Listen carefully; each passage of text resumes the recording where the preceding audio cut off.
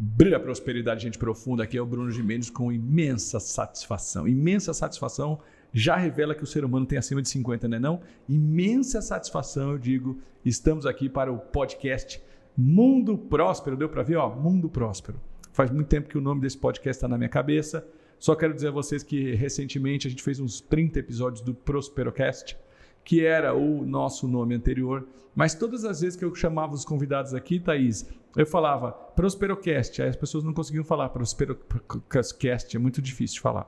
Então eu comecei a falar, não, espera aí, as coisas têm que ter um nome fácil. Bem fácil para qualquer um falar, e o que a gente quer? A gente quer um mundo próspero.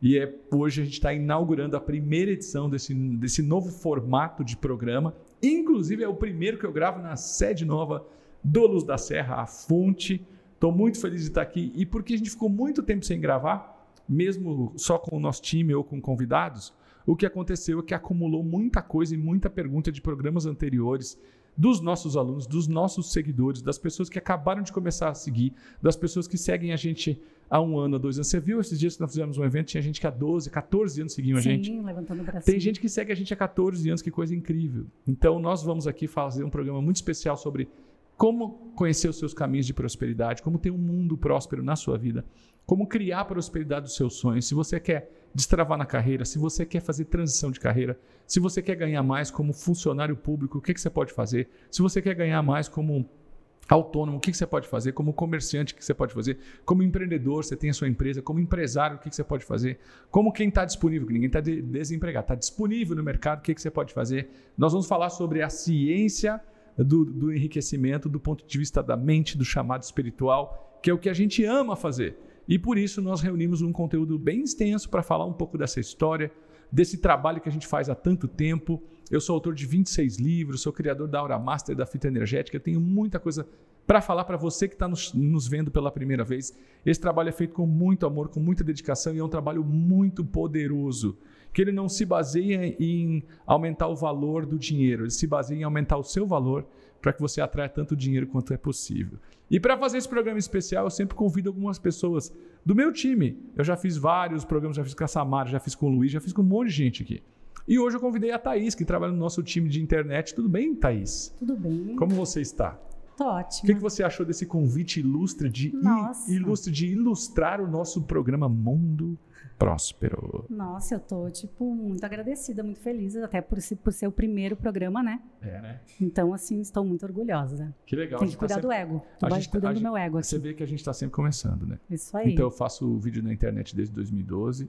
Você sabia que eu tenho, acho que mais de 3 mil vídeos na internet, mais de 13 mil conteúdos online entre artigos e vídeos na internet. É loucura isso, né? Demais, né? E nós estamos começando de novo, humildemente. A gente, a gente tem que começar, a gente tem que refazer a vontade de mudar o formato. A gente está aqui arrumando o nosso estúdio ainda. E, enfim, vamos para cima. Que bom que você está aqui com a gente. Eu que agradeço. E quem está chegando agora, lembra de se inscrever, deixa o seu like, comenta muito, porque o seu comentário gera. Mostra essas folhinhas aí, Thaís. Mostra. Aí, seu uma... comentário gera essas folhinhas. Essas folhinhas foram tiradas de vocês dos programas anteriores. E a gente foi adiando, adiando, chegou o dia. Vamos começar, estou por ti. Vamos lá. Então, primeiro quero agradecer né, a oportunidade de estar aqui, a gente trocar essa ideia e eu, assim, ser a voz de todos os nossos alunos e, né, seguidores e tal. Então, Bruno, assim, muitas pessoas têm essa, uma dúvida e uma, talvez uma pergunta que é assim, ah, fala muito em ah, enriquecer, ganhar dinheiro e tal, mas eu não conheço ninguém rico. Então, uhum. onde estão essas pessoas ricas? E junto com isso, elas têm essa dúvida de será que a prosperidade é para mim? Porque eu faço tanta coisa, trabalho tanta coisa, sigo tantas coisas e nunca consigo alcançar a prosperidade. Ótimo. Elas estão errando aonde ou elas Bo não estão errando? Boa. Primeiro, a prosperidade é para todo mundo. Todo mundo nasceu num ambiente do, do planeta Terra, porém as oportunidades são realmente diferentes. A gente não pode dizer que uma criança que nasce numa favela e uma criança que nasce num, num bairro de classe média tem as mesmas oportunidades mas tem os mesmos potenciais. Então, sim, para algumas pessoas, as oportunidades são diferentes, mas os potenciais sempre iguais. Porém, o que está acontecendo de 20 anos para cá e só piora é que o fato de você ser de família rica tem piorado as suas chances de prosperar. E o fato de você ser de família muito escassa, muito carente, mas com ambição, facilita. Se você for olhar, os maiores casos de transformação financeira e prosperidade são de pessoas que não tinham nada e cresceram na vida.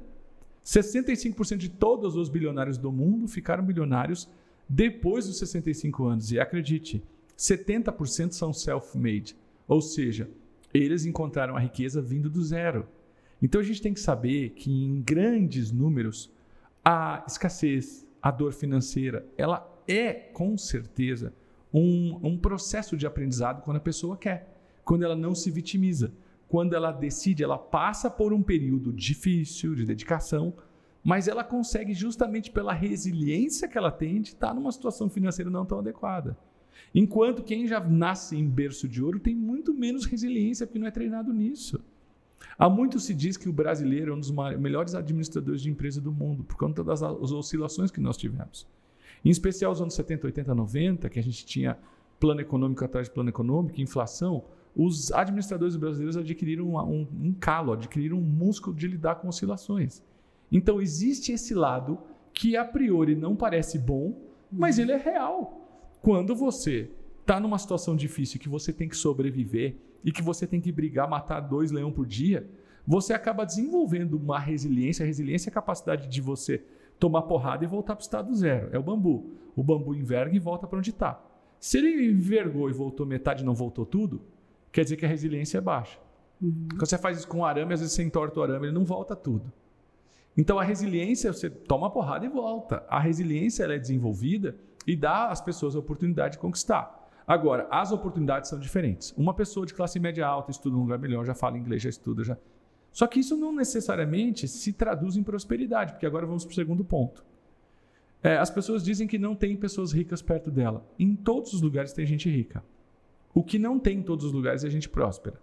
Riqueza é só dinheiro. Prosperidade é dinheiro e outros atributos. Não há prosperidade sem dinheiro. A pessoa fala assim: ah, eu sou rico de amor, eu sou rico de alegria, eu sou rico de, de família. Tem dinheiro? Não, então não tem prosperidade.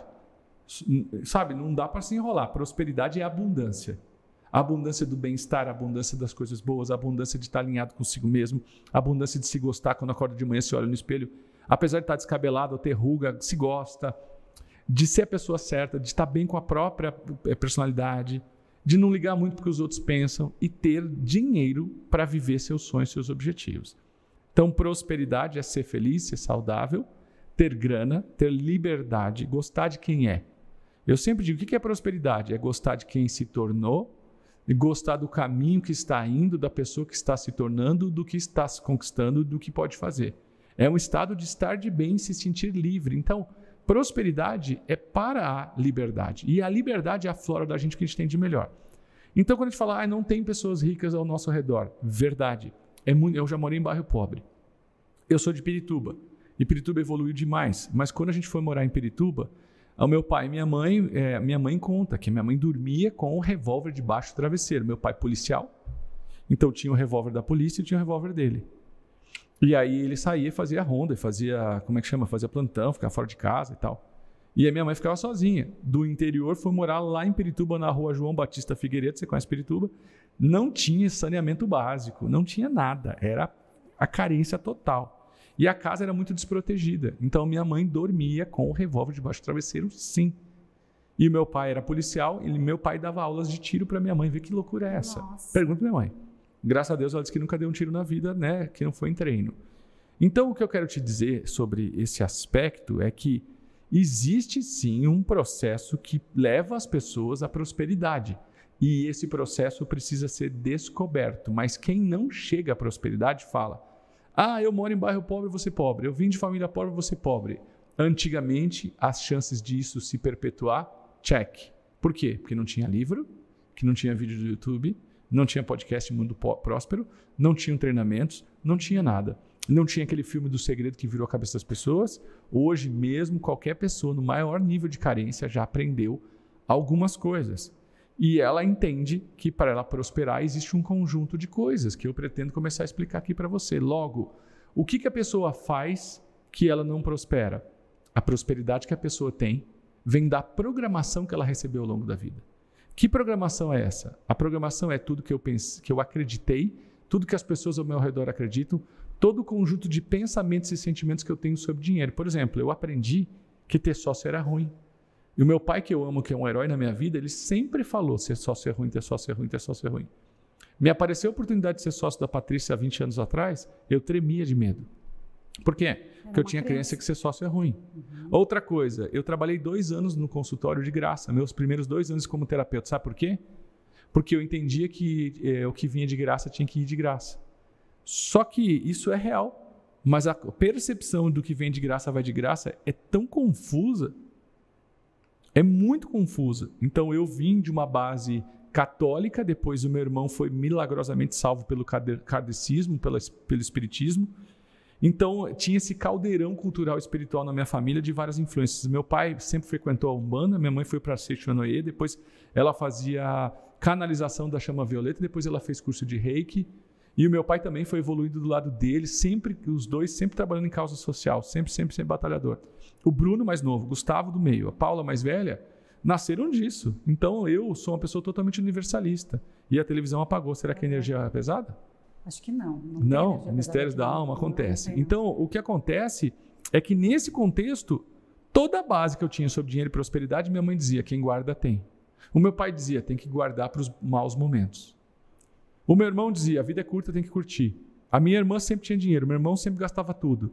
E o que, que é isso? Isso é reflexo desse lugar que a gente convive de pessoas que pensam igual. Infelizmente, a gente aprendeu com os nossos pais o mínimo para viver e ter uma integridade, ter moral, mas eles não são as melhores referências para ensinar e assim a gente tem que honrar nossos pais. Uhum. Mas a gente acha, a gente confunde intimidade com expertise. O pai e a mãe da gente ensinam os princípios mínimos. Depois a gente tem que buscar, só que a gente acha que o pai e a mãe é referência de dinheiro e vira, porque pai e mãe é referência. Tipo, o sol e a lua é referência da terra. Então eles viram referência também para dinheiro, e daí a gente é, herda deles o que eles herdaram de seus pais, avós, enfim, o que é sobre dinheiro e prosperidade. E hoje a gente tem mais de 118 crenças. Então, para responder a sua pergunta, qual que é o problema? Eu tenho que pensar de um jeito diferente. A programação mental inconsciente que eu tenho é a que gera a prosperidade que eu tenho. Se eu mudar essa programação mental inconsciente, eu vou ter outra prosperidade. Logo, o dinheiro que você tem é pela programação que você tem. Se você quer ter um novo dinheiro, uma nova prosperidade, você tem que ter uma nova programação. E essa programação qualquer pessoa pode mudar, então. Todo mundo pode mudar essa programação mental, limpar essas crenças limitantes é. e prosperar. Prosperar, assim, ó. Só que vamos falar real aqui. É, vamos imaginar uma teia de aranha. Um fio, outro fio, outro fio, vários fios criam a teia. Uhum. Então, as crenças limitantes que a gente tem, tipo, dinheiro não dá em árvore, é, quem tem dinheiro é snob, se você tem muito dinheiro vão te sequestrar, se eu tiver muito dinheiro, vão querer o que é meu. Não põe a bolsa no chão que leva dinheiro embora. Eu tinha essa crença. Você tinha? vou deixar a bolsa no chão ia me deixar pobre. É? Quer ver outra crença que eu tinha? Que eu não podia ser mais que o meu pai. Não sei porquê. Isso é muito normal. Tem muita gente que tem essa crença eu não posso ter mais dinheiro que meu pai. Quer ver outra crença que eu tenho? Que tinha aqui, os ricos não vão para o céu. Uhum. Que os ricos são desonestos, que os ricos são snobs. Eu tinha essa crença e a também. maior parte dos ricos que a gente conhece por aí são pessoas que ajudam muito, que fazem muita coisa boa, que contribuem muito. Oi, se alguém precisar vir aqui para mexer, a gente mexe, tá? Não tem problema não. É um cabo, é o Osmar, conhece o problema do Osmar? Osmar Contato? Não. Osmar é o nome do meu pai. É, Osmar Contato. É. Entendi, não sabia que era Osmar. Osmar já nasceu com 60 anos, 50, né? Osmar. Mas não tem uma criancinha Osmar, né? Não, não tem. É tipo Odete, né? Não Também não sentido. tem. Dona Odete, a senhora entende o que eu estou falando. Logo vai ser Bruno, né? Logo vai ser Bruno, eu sei. Então, o que eu quero lembrar sobre esse contexto é que essas crenças são várias. É mais fácil um camelo passar no buraco do agulho do que um, reino, um rico entrar no reino dos céus. Quem é rico é snob. Os ricos fizeram alguma coisa errada. Para você ser rico, você tem que ter um padrinho. Para que ganhar dinheiro se a vida só se vive uma vez? Todas essas são crenças. Cada crença é um fio da teia. Imagina que 30 dessas crenças se encontram. Elas formam uma teia. Sabe como eu chamo essa teia? Paradigma. O paradigma é a programação. O que é a programação? Um monte de informação que eu tenho sobre aquilo. Veja, como que a gente faz um. A gente vai adestrando um cão, um cachorro, um gato. Você vai criando vários comandos e esses comandos vão criando um condicionamento mental para o bichinho. Faz sentido? Faz, claro. Nós vamos criando esses condicionamentos mentais e esses condicionamentos mentais vão criando nossa prosperidade. Você cria condicionamentos mentais e os seus condicionamentos mentais criam prosperidade ou a falta dela. Então foi o que aconteceu comigo. Quando eu comecei a quebrar os condicionamentos mentais, eu comecei a quebrar a escassez e entrar na prosperidade. Qualquer pessoa pode? Qualquer pessoa pode. Mas não é simples. Você não encontra num livro. Aqui está falando alguém que já escreveu 26 livros. Então eu não ousaria falar mal dos meus livros que já mudaram a vida de tantas pessoas. Mas a mudança de crença, Thaís, ela pode acontecer de duas maneiras. No, no, no caso, a mudança de paradigma. Sabe quais são essas duas maneiras? Quais? Número um, por um choque traumático forte. Torres Gêmeas, Brumadinho, Itajaí, enchente recente do, aqui do, do Rio Grande do Sul, é, sei lá, essas coisas que você vê por aí que destroem um mundo, que destroem uma família, e às vezes coisas menores que não aparecem em jornal, mas é daquela cidade ou daquela família. Uhum. Um choque emocional tão forte. Sabe qual foi para mim? Um acidente, bati de frente com o caminhão, fiquei preso nas ferragens, quase morri. Isso para mim foi uma forte quebra de paradigma. Porque daí vem um pensamento muito forte com dor emocional, com obrigação de pensar diferente. E em segunda, a segunda forma é com exercícios repetitivos que acionam o inconsciente da forma certa. É como aquele jardim que nasce aquelas conhecidas como é, aquelas ervas daninhas, que eu não sei o nome, que tem uma cebolinha que vai lá atrás. Vai lá no fundo, lá na minha casa a gente tem até um, um, um garfinho assim torto que a gente coloca para tirar esse essa plantinha que dá no meio da grama e que tem uma cebolinha, ela não sai, é um nó que vai fundo. As, a, os paradigmas são isso. Os paradigmas são tão estruturados que fazem com que a gente reaja a, a condições do dia a dia não racionalmente. Quando você vê, você já está agindo. E digo o pior, isso está também presente no processo de emagrecimento. Quem é magro, quem é saudável, tem uma programação mental para a saúde. E quem é gordinho, é desequilibrado, tem uma programação mental para isso. Na prosperidade é a mesma coisa. E eu achava que não, achava que para ter dinheiro você tinha que ter sorte, que não tinha nada dessas besteiras, que isso daí era sorte. Essas coisas todas. E não. Então é um conjunto de crenças. Essa programação mental, ela infelizmente ela é deturpada no YouTube, tem áudios de programação mental. E a pessoa acha que não tem que fazer nada. Isso não funciona. Não funciona mesmo. Se você colocar num nível de 0 a 10 de importância, esse daí é 0,01%. Não quer dizer que não influencie um pouquinho, que não mude a frequência, que não, não altere a sua frequência cerebral corporal. Sim, isso faz, mas é tão pouco que no máximo pode dar um estado emocional alterado para o bem, por exemplo. Mas não resolve. Só que a gente é imediatista e acha que vai assistir um vídeo no YouTube que fica fazendo uma coisa mil vezes e que vai resolver. Não resolve. Mudar crenças limitantes exige exercícios repetitivos. Número um. Esses exercícios a gente fala mais depois. Número dois, você tem que mudar seu, os seus convívios. Número três, você tem que ter metas. Número quatro, você precisa ter mentores. Se tem uma coisa que se eu quisesse, se eu pudesse voltar lá atrás e falar, Bruno, o que, que lá atrás você faria diferente? Só uma coisa. Ah, não preciso nem dizer. Eu queria fazer tudo sozinho, eu consigo, eu leio o livro, eu estudo. Para que, que eu vou contratar mentor? Eu vou pagar uma consulta para alguém? Eu vou pagar um curso? Não, eu chego lá. Que besteira, porque mentor curta tempo. Mentor te tira de drama. Mentor te ajuda a fazer perguntas que você não sabia o que fazer. Mentor é uma pessoa que já chegou onde você quer chegar, conhece o caminho, já foi, voltou três vezes, sabe te levar e te trazer. Então, essas coisas mínimas fazem um resultado assim, ó. Eu tenho um, um dos mentores meus é, americanos. É, eu ia te perguntar isso sobre dos, dos teus mentores. É, eu tenho vários, né? Eu acho assim que mentor é. Você tem que ter um mentor para tributação, se você tem a empresa. Você tem que ter um mentor para é, organização de time. Você tem que ter um mentor para liderança. Dependendo do nível que você cresce, você pode ter vários mentores na sua vida. E mentor não é mentor espiritual, tá, Thaís? Porque muito da minha audiência gosta de espiritualidade. Mentor não é mentor espiritual. Mas pode ter também. Como o Chico Xavier tinha o Emmanuel. O Emmanuel. Emmanuel. É, não, pode ter, mas o mentor que eu estou falando aqui é alguém com expertise numa área. Por exemplo, você escreve muito bem. É, você pode ser mentora de escrita, de redação para muitas pessoas. Mas aí eu vou perguntar, você pode ser mentora de corrida de alguém? Não. Eu não sabia se tu corria ou não. Não, não corro. Então, não pode. Então, o mentor é alguém que tem um expertise muito bom e que ajuda outras pessoas a acelerar o processo de conquista daquele expertise. Então, eu tenho vários mentores na minha vida. Tenho uns três ou quatro agora que eu sou empresário há um bom tempo. E um dos erros que a gente comete é querer ir sozinho, achar que dá conta. Não dá. Porque, vamos supor, é, já, já assistiu o filme de guerra, ou filme de luta, ou filme de já, ação, que claro. o cara, ele próprio tem que dar ponto nele mesmo. Aquele ser humano é casca grossa. Tu dá ponto nele em você mesmo.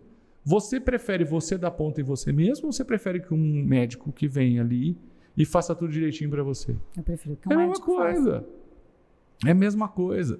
Não muda. Então, a, o lance para quebrar as crenças limitantes é o primeiro, mas você não adianta só quebrar as crenças. Sabe por quê? Porque crença é que nem unha. cresce toda hora. Os grupos, a mídia, faz você acreditar num conjunto de coisas que te leva para o buraco financeiro. E é real. Para mim, TV aberta, televisão aberta, é redutor automático de conta bancária. Redutor automático de saldo bancário. Isso é até uma expressão que um amigo meu fala, Rodrigo Cardoso. Televisão é redutor automático de saldo bancário. A gente tem que tomar cuidado. Por quê? Porque as crenças que estão nos programas de TV aberto são crenças sempre contrárias à prosperidade, contrárias ao sucesso. São poucos os filmes, as séries, os jornais, a TV que estimulam o crescimento, o individualismo, a autorresponsabilidade. Ao contrário, querem falar que a culpa não é sua, que você tem que pagar para alguém para resolver a tua culpa, que vai vir um Deus que salva, enquanto que a gente sabe que para a gente ser salvo a gente tem que fazer a nossa parte. Coisas desse tipo, sabe? E isso tudo vai criando na gente uma estrutura praticamente construtora de escassez. E aí a gente fica achando que não é próspero porque não estudou, não é próspero porque não nasceu em família rica, não é próspero porque não teve sorte, não é próspero porque não teve oportunidade. E na verdade não é. A gente não é próspero porque a gente tem um programa de computador de escassez, que eu chamo de escassosfera. Se você tirar a escassosfera da tua cabeça e instalar a prosperosfera, não importa quem você seja, onde você esteja, o que você esteja fazendo, você consegue prosperar. Então, eu ia chegar na escassosfera, que também é uma das perguntas, né? Que a gente tem, recebe muito aqui, que o que seria a escassosfera? Então, a escassosfera. Como chegar na prosperosfera? Que um, dia eu tava, um dia eu estava deitado, sentado no meu sofá assim. Às vezes eu chego do trabalho, aí eu sentei no sofá, aí fiz um chimarrão, virei a cadeirinha e fiquei olhando pro vale, assim. Tava quase escurecendo, fiquei olhando, fiquei olhando. Falei, nossa. E era um dia, sabe aqueles dias que o tempo está muito seco e, e forma uma camada de poeira assim no ar? Eu vi aquela camada, falei, nossa Estou vendo uma camada, como se fosse uma camada da atmosfera, né? Aí eu fiquei viajando assim. Eu falei, nossa, a gente está envolvido por isso, né? Aí me veio na cabeça, falei, nós estamos envolvidos por isso, mas nós estamos envolvidos por uma atmosfera de pensamentos que levam à escassez. E me veio, então isso é uma psico. Psico é de mente, de alma, psicosfera. Ou seja, uma atmosfera criada por pensamentos de escassez. Essa atmosfera criada por pensamentos de escassez, ela é uma linguagem. Se você vê um programa de TV de futebol, de comentarista pós-jogo, você vai ver toda a linguagem. Não, porque daí ele fez a pressão média no bloco baixo. Você vê que é uma terminologia de, de comentarista de futebol. Uhum. Quando você vê a, o, a conversa na escassosfera, é assim, é, tá podendo, hein? Tá rico, hein? Uh, conta para nós o segredo. Eu estou dando só um exemplo, todo mundo sabe o que eu estou falando. Existe um conjunto de coisas de reclamar da vida, de colocar a culpa nos outros, de não fazer o que tem que ser feito, e que a gente não percebe que a gente vive. Imagina que tem palavrinhas assim gritando no ar aos milhões. Nós vivemos na, na escassosfera. E sair da escassosfera é o grande segredo. Se você sai da escassosfera e você entra na prosperosfera, você começa a ter ideias de grana. Você começa a ser chamado para projetos que vai ter grana, que vai ter prosperidade, a gente tem que entender que prosperidade, escassez financeira, dificuldade, dureza, e quando eu falo de dificuldade e dureza, não é morar num lugar que não tem nem esgoto, abastecimento. Não é não ter dinheiro nem para pagar as contas. Ou não é passar pelo que eu passei que não tinha dinheiro para pagar a conta de luz, cortou duas vezes 45 dias. É você que tem uma empresa, você que é um bom profissional e mesmo assim tá às mínguas. Você que está numa empresa boa, que você tem o teu próprio trabalho, ou que você ele trabalha para alguém, ganha bem, mas está difícil. A escassez é um sistema que parece que é, estrangula a passagem da prosperidade na nossa vida. Esteja você morando num apartamento lindo, morando num lugar mais simples, a escassez é um estado de espírito que, independente se você tem pouco ou se tem muito, ela, ela vibra. Tem gente que ganha pouquíssimo e não está em escassez, e tem gente que ganha muito e está em escassez, só para deixar isso claro. Então, essa, essa questão da escassez ela é um conjunto de coisas. Primeiro, as crenças, as coisas que a gente faz, as coisas que a gente repete. Reclamação, meu Deus, reclamação é uma das coisas que mais coloca a gente na escassosfera. Culpar o outro, não assumir a autorresponsabilidade, não saber sua missão de vida. Se vitimizar. Se vitimizar, isso. Esses são coisas que você coloca na escassosfera e isso vai eh, alimentando a tua vida. É como se você tivesse um chip, sabe? Um chip de computador você coloca na tua cabeça e você está na escassosfera. E acreditar nesses pensamentos, por exemplo, dinheiro não dá em árvore, ah, o dia que eu ganhar na loteria eu vou poder. O dia que eu me aposentar eu consigo. São pensamentos que limitam o teu poder pessoal. São pensamentos que não te permitem ser tudo que você nasceu para ser e te fazem ser o que dá para ser. Eu chamo isso de bonsai, né? Você atrofia. O bonsai era uma árvore para ser enorme, plantada na terra e virar um pinheiro negro enorme, uma pitangueira enorme. Mas ele está ali atrofiado que está sendo determinado pelo tamanho máximo do vaso. Aquele bonsai só cresce o máximo que aquele vaso permite. O que, é o vaso? É o conjunto de crenças que a gente tem. Os paradigmas. Os né? paradigmas. Então, uh, falando na esca... voltando um pouquinho na escassosfera, uhum. tem como a pessoa estar na prosperosfera, mas ela vai ter pensamentos de escassosfera, né? E daí faz o quê? Como eu tenho todos os dias. É, e daí como é que como a gente. A gente fica o tempo inteiro, é uma briga de, de luz e sombras. Só que me acompanha. Quando você não conhece a prosperosfera e a escassosfera, é uma frase que eu falo sempre: não tem problema você ter inimigos, desde que você saiba quem são e como que eles agem.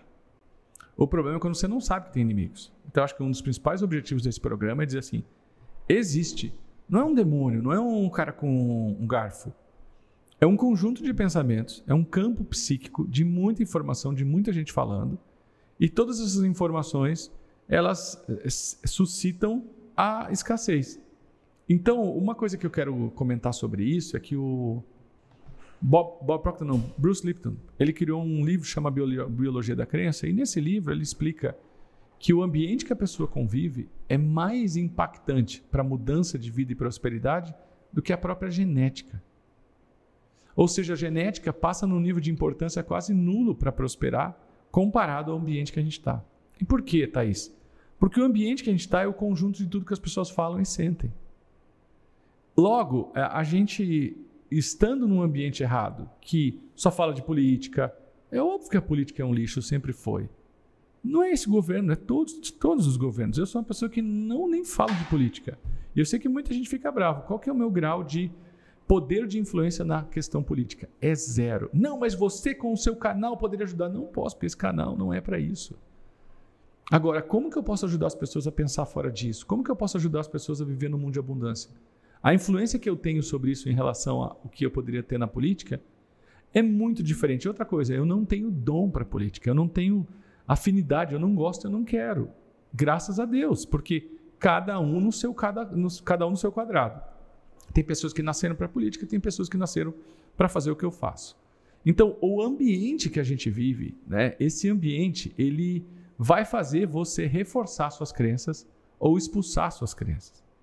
Então, todas as vezes que você vibra na escassosfera, você com certeza está alimentando um ambiente, mais pessoas naquele lugar, mais pessoas reforçando aquilo.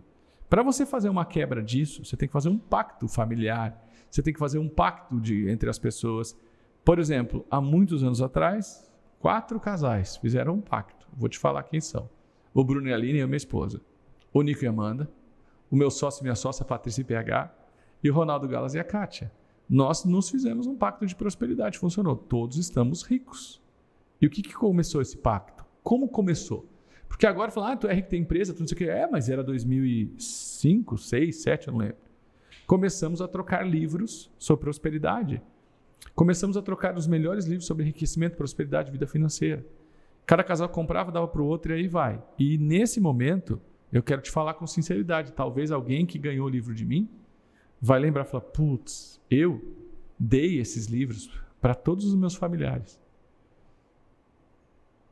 Entendeu? Todos e, leram? Não sei, provavelmente não. Eu dei esses livros para esses familiares. Não é um livro. Qual livro que é, Bruno? Qual livro? Não é sobre isso, é sobre a atitude. Porque eu e minha esposa, a gente queria vibrar nos pensamentos certos. Nesse momento, em 2006, 2007, ainda tinha CD, lembra? Lembra. Eu pirateava CD muitas vezes. Você também deve ter feito isso, né? Claro que fez. Claro, claro. Aí eu descobri que era errado. Como errado não pode ser um CD que custa 30 reais? Aí eu descobri que quando eu pirateava um CD, eu estava ferindo uma lei chamada Lei da Integridade. Doeu? Aqui na Luz da Serra, você sabe, não tem um programa pirata. Custa caro para nós, mas é integridade. Você quem está ouvindo aqui. Então, integridade é um pacto. Integridade está escrito suco de laranja 100% integral, quer dizer que não foi tirado nada, não foi refinado. A gente tem que estar tá inteiro, autêntico para prosperar. Logo, o que eu quero dizer? Todo mundo consegue prosperar? Consegue, mas nem todo mundo consegue fazer o que precisa. A notícia boa é que não é faculdade. A notícia boa não é que não é ser lindo. Se fosse ser lindo, eu não tinha enriquecido. A notícia boa é que não é nenhum superpoder que os humanos não tenham, que algumas pessoas nascem com e outras nascem sem. Ao contrário, se alguém puser duas pessoas, esse aqui nasceu na classe média, esse aqui nasceu no bairro, na periferia, os dois vão ter acesso a um conhecimento. Qual dos dois você aposta que chegam lá? Eu aposto na pessoa que veio de uma base mais carente. Porque tem mais resiliência e tem mais ambição. Lembra, ambição é vital, ganância é mortal. A partir do momento que a gente começa a entender os meandros, nossa, falei bonito agora, os meandros da escassosfera, e você começa a entender que inimigos são esses, você começa a ver como eles agem. Como que esse inimigo age? Não é culpa sua, é culpa do governo, é culpa da, de, de, Deus, é culpa do, do, destino, é culpa de um espírito, é culpa de uma magia negra, é culpa do vizinho, é culpa do pai. Porque quando eu coloco a culpa em alguém, meu cérebro relaxa. Esse é o mecanismo do cérebro. Por isso que a gente uhum. põe tanta culpa nos outros.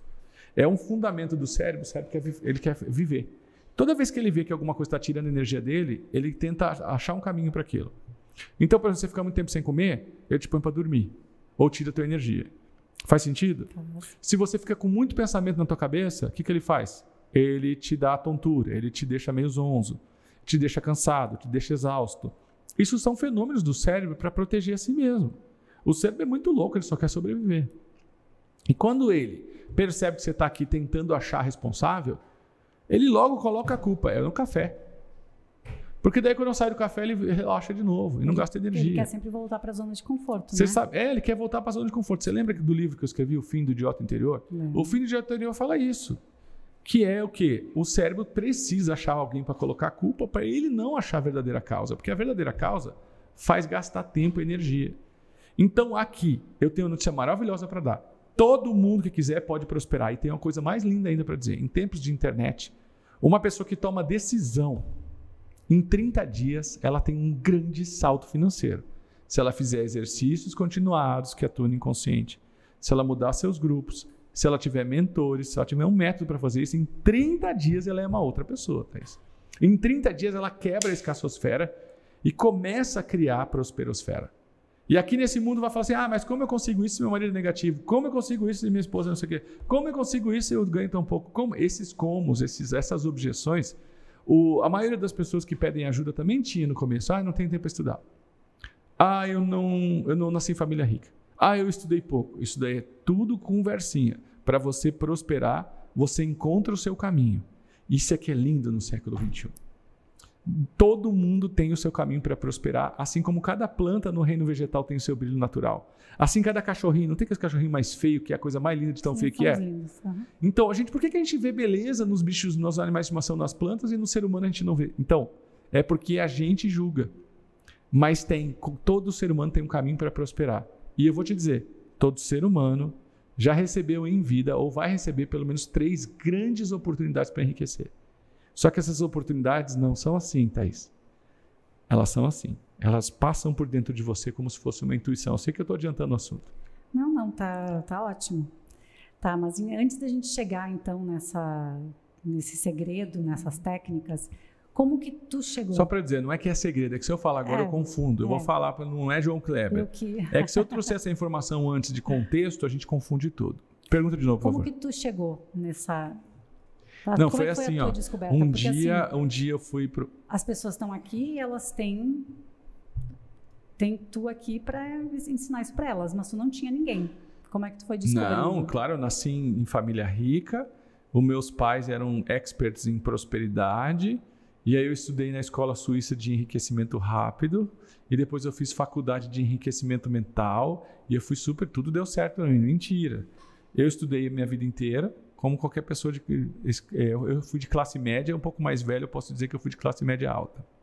Quando os filhos da dona Vera começaram a trabalhar e crescer, e cada um começou a cuidar do seu, do seu dinheiro, é impressionante como a nossa casa tinha prosperidade para fazer as principais coisas. Não era uma família que qualquer um podia queria viajar de avião, podia. Não era uma família que qualquer um podia fazer tudo, que ia para hotel, não. Mas assim, o básico a gente tinha. Eu, Gustavo e Paulo sempre tinham os nossos carros. A gente jovem, a gente mal fazia 18 anos, todo mundo comprou teu carro, seu carro e foi um, uma infância legal, uma adolescência legal. Meu pai tinha uma chácara, uma chácara que tinha piscina, a gente brincava muito, bicicleta, sabe?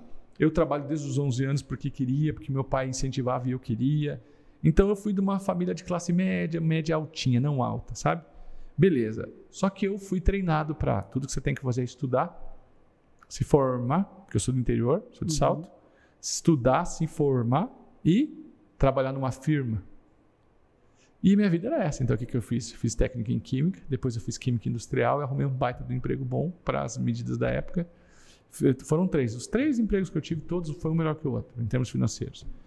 E aí, quando deu 2000, acho que foi 2000, eu tinha tudo isso. Tinha um carro, era um Golf na época. Até hoje o Golf é legal, né, ô, ô, Gabi? Na época eu tinha um Golf. É, o ano era de 2000 e eu tinha um Golf 95. Era muito foda. Era muito foda mesmo. Para quê? Para 22 anos. Então eu, para minha idade, eu estava muito bem para que os outros olhavam. Só que eu vi que eu fui programado para aquilo, estuda, para arrumar um bom emprego numa firma, para você ter a sua vida. E aí eu consegui isso cedo. E aí acabou. E aí não sentia sentido. Já tinha, a princípio, não, não já tinha, tinha sentido. tudo que... Não tinha sentido. Eu sempre rezei muito, eu sempre tive Deus no coração, uhum. sou um cara espiritual. Desde cedo, sempre, sempre nasci com isso. Se eu falar que eu desenvolvi, eu tenho que agradecer meu pai, minha mãe, meu avô que adorava rezar e que estava sempre enfiado em sociedade vicentina, ajudando os pobres, cortando cabelo de pobre. Minha mãe seguiu isso e a gente sempre foi muito espiritual. Só que eu sempre fui, sempre fui. Mas aí eu consegui aquilo, acabou. E eu estava em depressão. Eu morava em Porto Alegre, morava sozinho, 22 anos, morava sozinho, tinha um golfe. Ganhava um salário de uns 4.500 na época, era um ótimo salário, acho que eram uns 18, 15, 12, 15 mil de hoje. Para morar sozinho era suficiente, eu tinha liberdade, podia fazer o que eu queria, era legal, era legal nesse lado. Mas eu estava infeliz. E aí comecei a ficar doente, a cada 45 dias eu ficava doente, a cada 45 eu ficava doente. E muito responsável, sempre fui com o meu trabalho, sempre gostei de trabalhar mais do que muitas outras coisas na vida. É como praticar esporte. Praticar esporte ou trabalhar? Trabalhar mil vezes, amo trabalhar. Então, aí o que acontece? Eu cheguei para o meu, meu diretor e falei: Olha, eu estou ficando doente a cada 45 dias, os últimos tempos foi isso, eu trabalho bastante, então vou começar a fazer banco de horas para quando eu ficar doente, tá bom? Ele, nossa, que responsável, ficou, elogiou. Que vergonha, né? Olha que ridículo. Ele, ele ficou bom, feliz. Ele achou legal. Ele achou legal. Mas eu, olha, onde que eu, a gente está, onde a gente se coloca. Tu nem percebia que tu estava ficando doente? A gente está onde a gente se coloca, mas todos os dias de manhã acordava no meu apartamento em Porto Alegre, segurava o espelho do banheiro antes de tomar banho ou depois de tomar banho, me olhava nos olhos, ficava fitando meus olhos assim. E eu me perguntava, Thaís, quem é você que não sou eu aí dentro? E eu me perguntava. Porque eu me olhava no espelho assim, eu não via eu, eu não me reconhecia. E aquilo até hoje tem um, uma, é muito forte na minha vida. Que esses dias uma pessoa falou, Bruno, qual é a tua maior definição de sucesso? Eu falei, Todos os dias, de manhã cedo, quando eu me olho no espelho, eu me enxergo. Então, se eu não contar a história de Porto Alegre quando eu morava sozinho, a pessoa não vai entender, porque daí eu sei que faço assim, estamos juntos. Tem dificuldade, tem problema, tem dias bons e ruins, mas eu me reconheço. É a vida que eu quero. Uhum. Porque todo mundo oscila, né? Nem todo dia é lindo. Então, nesse momento, ele foi fundamental. comecei a entrar em depressão terrível. Aí eu perdi a alegria. Aí não era só doente. Aí eu estava entrando em depressão. E quando eu comecei a entrar em depressão, comecei a procurar ajuda das mais diversas ajudas possíveis. Daí o que, eu fiz? Eu descobri que eu queria ajudar pessoas como eu fui ajudado. Eu descobri a terapia holística. Do holos do grego quer dizer o todo. Hoje está na moda, terapia holística é muito grande, mas na época não tinha. Eu fui terapeuta holístico muitos anos. E daí eu abandonei aquela empresa e fui trabalhar como terapeuta holístico. Minha vida estava resolvida. Eu ajudava os outros, eu era feliz, né? Só que eu não sabia cobrar, Thaís. Alguém aqui tem dificuldade de cobrar? Escreve aí nos comentários. Putz, eu não conseguia cobrar, a pessoa falava assim: não tenho dinheiro, não precisa pagar.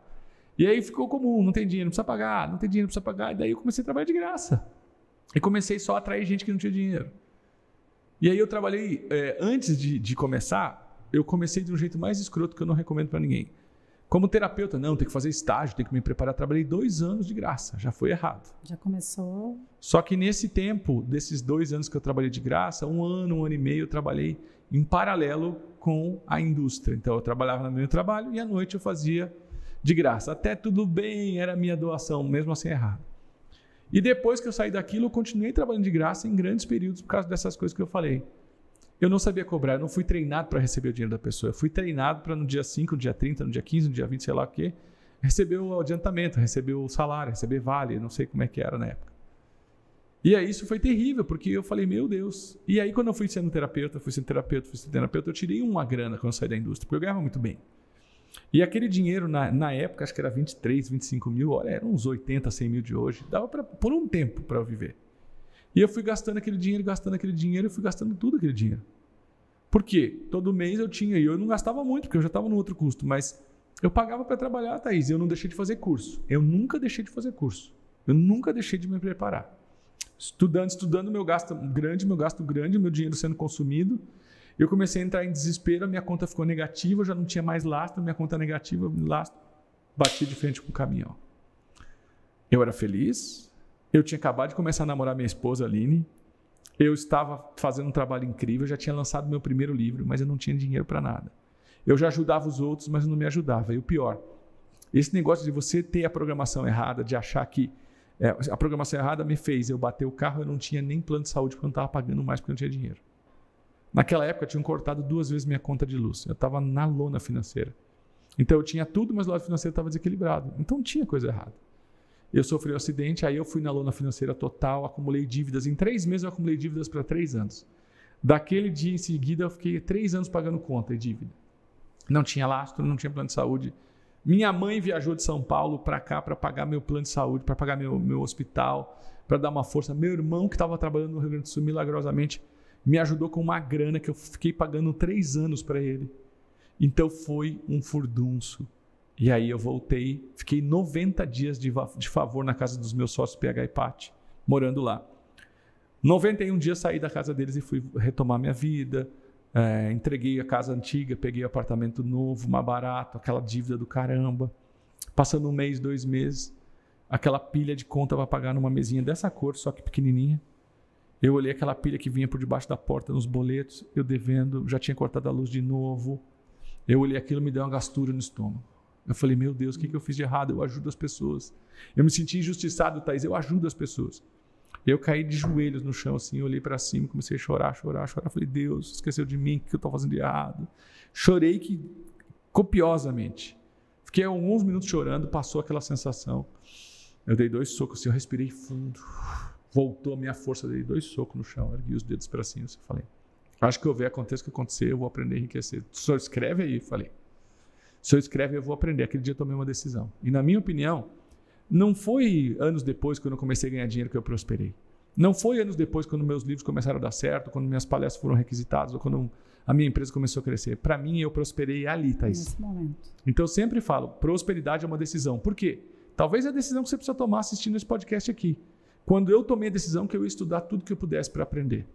E eu estudei. Eu fui atrás de professores, de pessoas que. Eu comecei a, a, entrevistar empresários. Eu morava em Gramado na época, eu era uma pessoa pobre, quebrada, numa cidade rica. E isso foi um, um presente para mim. Na época eu me sentia humilhado, mas a riqueza de Gramado não me deixava covardar. Se eu tivesse quebrado num bairro pobre, numa cidade pobre, que todo mundo estava acostumado com aquilo, a pobreza não ia me ofender. Mas eu estava pobre, quebrado financeiramente, sem grana, estourado, num lugar onde todo mundo era rico, num lugar onde todos os dias para eu caminhar, fazer meu exercício, eu passava em 40, 50 restaurantes topíssimos. Eu passava em 4, 5 hotéis, 5 estrelas. Eu passava por pessoas que vinham do mundo inteiro para passear em Gramado, que Gramado é lindíssimo. E aquilo me fez eu não aceito a pobreza.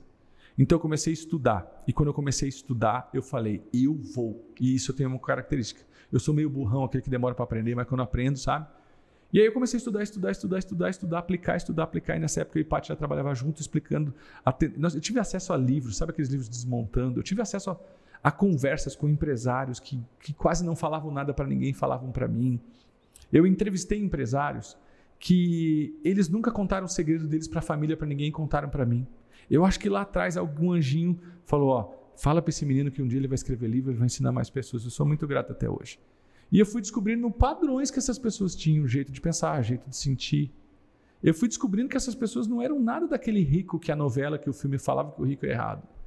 E aquela referência que eu tinha, eu falei, ó, se rico faz mal para os outros e rico é desonesto, esses daqui não são. Se rico é tudo desnobre, esses daqui, olha o que eles fizeram. E eu fui aprendendo muito. E aí livros e cursos que eu fui fazendo e tal, as coisas começaram a dar certo. Dois anos depois, a minha grana, o que eu ganhava, aumentou. Três anos depois, aí meu patrimônio zerou, porque eu estava devendo tudo. Daí meu patrimônio zerou, já um outro ano eu dobrei, o outro eu tripliquei, o outro eu dobrei, o outro eu tripliquei, nunca mais parei com isso. E daí eu vi que eu tinha um método na mão. E como professor, eu já ensinava terapias naturais, eu não ensinava a pessoa a prosperar.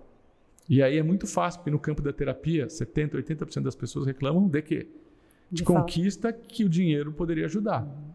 Não é a pessoa, ah, estou sem grana, mas ela reclama, eu queria viajar, não posso, eu queria ter uma casa melhor, não posso. E qual que seria a solução para elas? O dinheiro. Então, conectar as terapias que eu fazia com terapia financeira, com terapia de, de mentalidade, começou a ser um caminho natural. Aí, em 2017, não sei se vídeo não tem não, né? Em 2017 tem o vídeo do, do Propósito na Balada, não tem não, né? Que eu ergo o braço? Não tem. Mas uma hora, vocês, quem já me segue, uma hora você vai ver. Em 2017, a gente estava num evento em, no Rebouças, túnel Rebouças.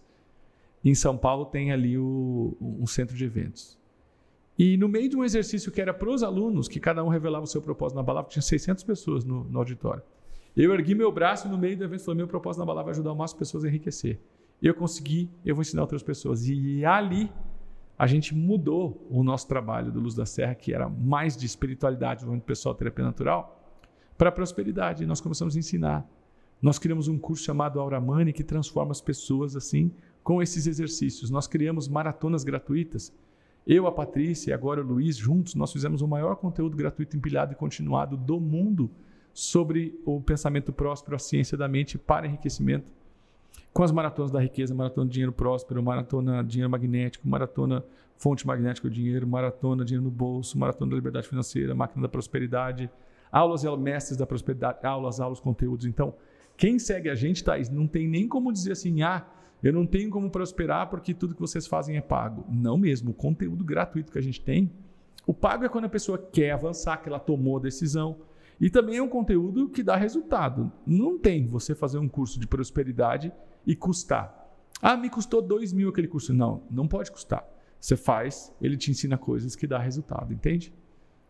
Então, já que a gente já falou do Aura Money, eu queria que tu explicasse um pouquinho desse troféu que a gente tem aqui na mesa, ó. Tá, esse que troféu aqui. alunos postam em depoimento, postam fotos. Você sabe que eu uso muito a expressão governança financeira. Uhum. Eu não suporto a expressão inteligência financeira. Não sei se é porque na escola eu era meio burro e aí quando eu falava que alguém era inteligente eu me sentia ofendido. Porque assim, né? A inteligência dos outros ofende a gente. Eu sei que é eu que tenho que fazer terapia. Mas o tempo passou e eu entendi que a gente também nem precisa ser inteligente para ser rico, próspero. Não precisa saber? Não você precisa. precisa dominar, não. Você sabia que tem uma pesquisa, tem um livro que fala sobre isso, Milionário Mora ao Lado, que chega um nível de prosperidade nas pessoas acadêmicas e ela não passa daquilo. Ou seja, há uma impressão de que quando você faz formação e vai se especializando academicamente, você vai ascender financeiramente, mas a curva faz assim. Assim que você chega no nível de mestrado, PhD, ele estabiliza muito. Ou seja, determinado nível de intelecto trava o teu crescimento. Te coloca um vaso que nem o do bonsai. Então está mais do que comprovado que faculdade, entre tantos elementos para um ser humano enriquecer, faculdade não é o relevante. Não é relevante. Não, mas a medicina não é. Quantos médicos tem aí que estão passando fome? Quantos médicos estão aí que não ganham nem para pagar suas contas? Não, mas quantos advogados eh, não trabalham com isso? O advogado virou outra profissão. Esses dias foi um cara lá, arrumou um negócio lá em casa, ele falou, e aí, nossa, não, porque eu fiz a advocacia e não consegui concluir e tal. Eu vi que ele estava ferido, ele queria falar, ó, estou fazendo um serviço na tua casa aqui. Mas eu sou um advogado. Mas eu sou um advogado. E eu saquei aquilo, eu falei, amigo, você fez a advocacia, fez direito e não deu certo. Aí eu não, não, não deixo passar, né? Com bastante amor. Eu falei, eu vi que você falou com dor. Eu falei, é, eu queria, era meu sonho. Eu falei, número um, se é teu sonho, dá para mudar. E número dois, o que, que é mais honrado? Você está você está preocupado com o que os outros vão pensar, por isso que você fez questão de falar que você era formado, e a gente teve um bom papo ali. Todos os trabalhos são importantes, mas o que as pessoas têm que entender? Que fazer o que todo mundo faz costuma pagar pouco. E é por isso que um bom pedreiro ganha mais que um advogado médio. Um bom pedreiro ganha mais do que um enfermeiro médio. Por quê? Porque a construção civil sempre está em alta. E tem muita demanda de pedreiro bom. Então eu tenho um amigo meu, pedreiro, que é de 30 mil para cima que ele faz. E aí, quantos engenheiros civis não fazem isso? Valor, né? Entendeu o que eu quero dizer? Logo, a questão do dinheiro, ela tem muitos elementos e faculdade não é uma delas. Então, quando eu decidi que eu ia fazer um programa para ensinar as pessoas a prosperar, eu olhei para o mercado e falei: não é inteligência financeira, é governança financeira. E eu comecei a ver aquilo que materializava uma grande transformação na capacidade do ser humano. Isso significa que ele começou a mudar suas crenças, que ele saiu da escassosfera e entrou na prosperosfera, que ele fez os exercícios de repetição, que ele mudou as profundidades do seu inconsciente. É quando ele consegue o 550. Esse troféu significa, sabe o que é o 5? 5 é o lastro. O que é o lastro? Vou tentar explicar. Vamos supor que o Gabi que está aí é o rei do camarote, está aqui atrás das câmeras. Ele precisa, por causa que ele é o rei do camarote, ele precisa de 100 mil reais por mês para viver. Vidinha humilde. Mais ou menos essa Ou uma vidinha humilde. Só na noite ele gasta 50. Então, se ele gasta 100 mil por mês, ele precisa ter cinco meses guardado como lastro no mínimo. Tem alunos que têm isso aqui com zero na frente. Certo? E tem gente que tem isso aqui infinito. Então, eu ensino que para você ter um mínimo de tranquilidade, você tem que ter cinco meses de lastro. Na sua vida boazinha, sua vida boa. Então, se você que está em casa precisa de 5 mil por mês, esse seu aqui, o seu 5, se refere a 25 mil.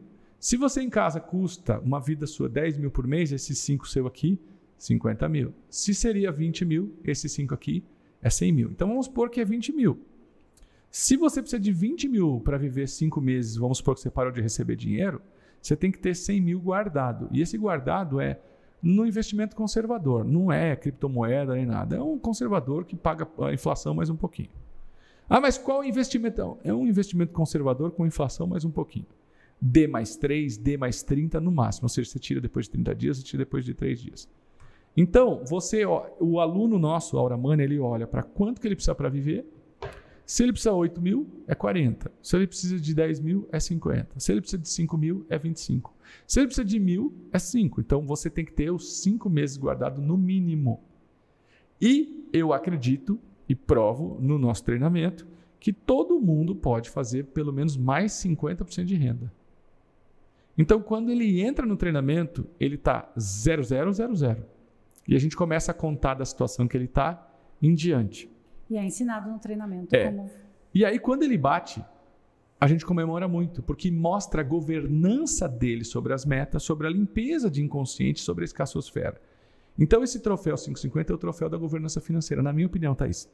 Quando a pessoa bate isso, ela está pronta, ela está enriquecendo, ela está pronta para ser uma pessoa a pessoa certa no lugar certo, a pessoa lucrativa. Isso aqui é muito importante. Ah, Bruno, mas cinco, o 5 para mim hoje nessa vida é 25, mas quando eu tiver rico, o 5 vai ser uns 5 milhões, claro. Só que o que acontece? Quando você ganha mais, você tem mais laço e ajusta a sua vida financeira, milagres acontecem.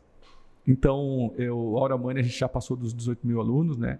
As pessoas se transformam. Ah, então já sei aquela pessoa que não me conhece. Ah, então todo mundo que faz seu curso pago fica rico. Claro que não. Claro que não. Agora, imagina só que você está em casa e você ganha 2 mil por mês. Que não dá para resolver a vida com 2 mil por mês, certo? Se você mora com o pai, com outras pessoas, até você se vira. Mas aí de um dia para outro você começa a ganhar 3 mil. Melhora a tua vida ou não melhora? Melhora. Tá, mas aí você descobre como ganhar 3 mil, você descobre o que, que você precisa fazer para ganhar 6.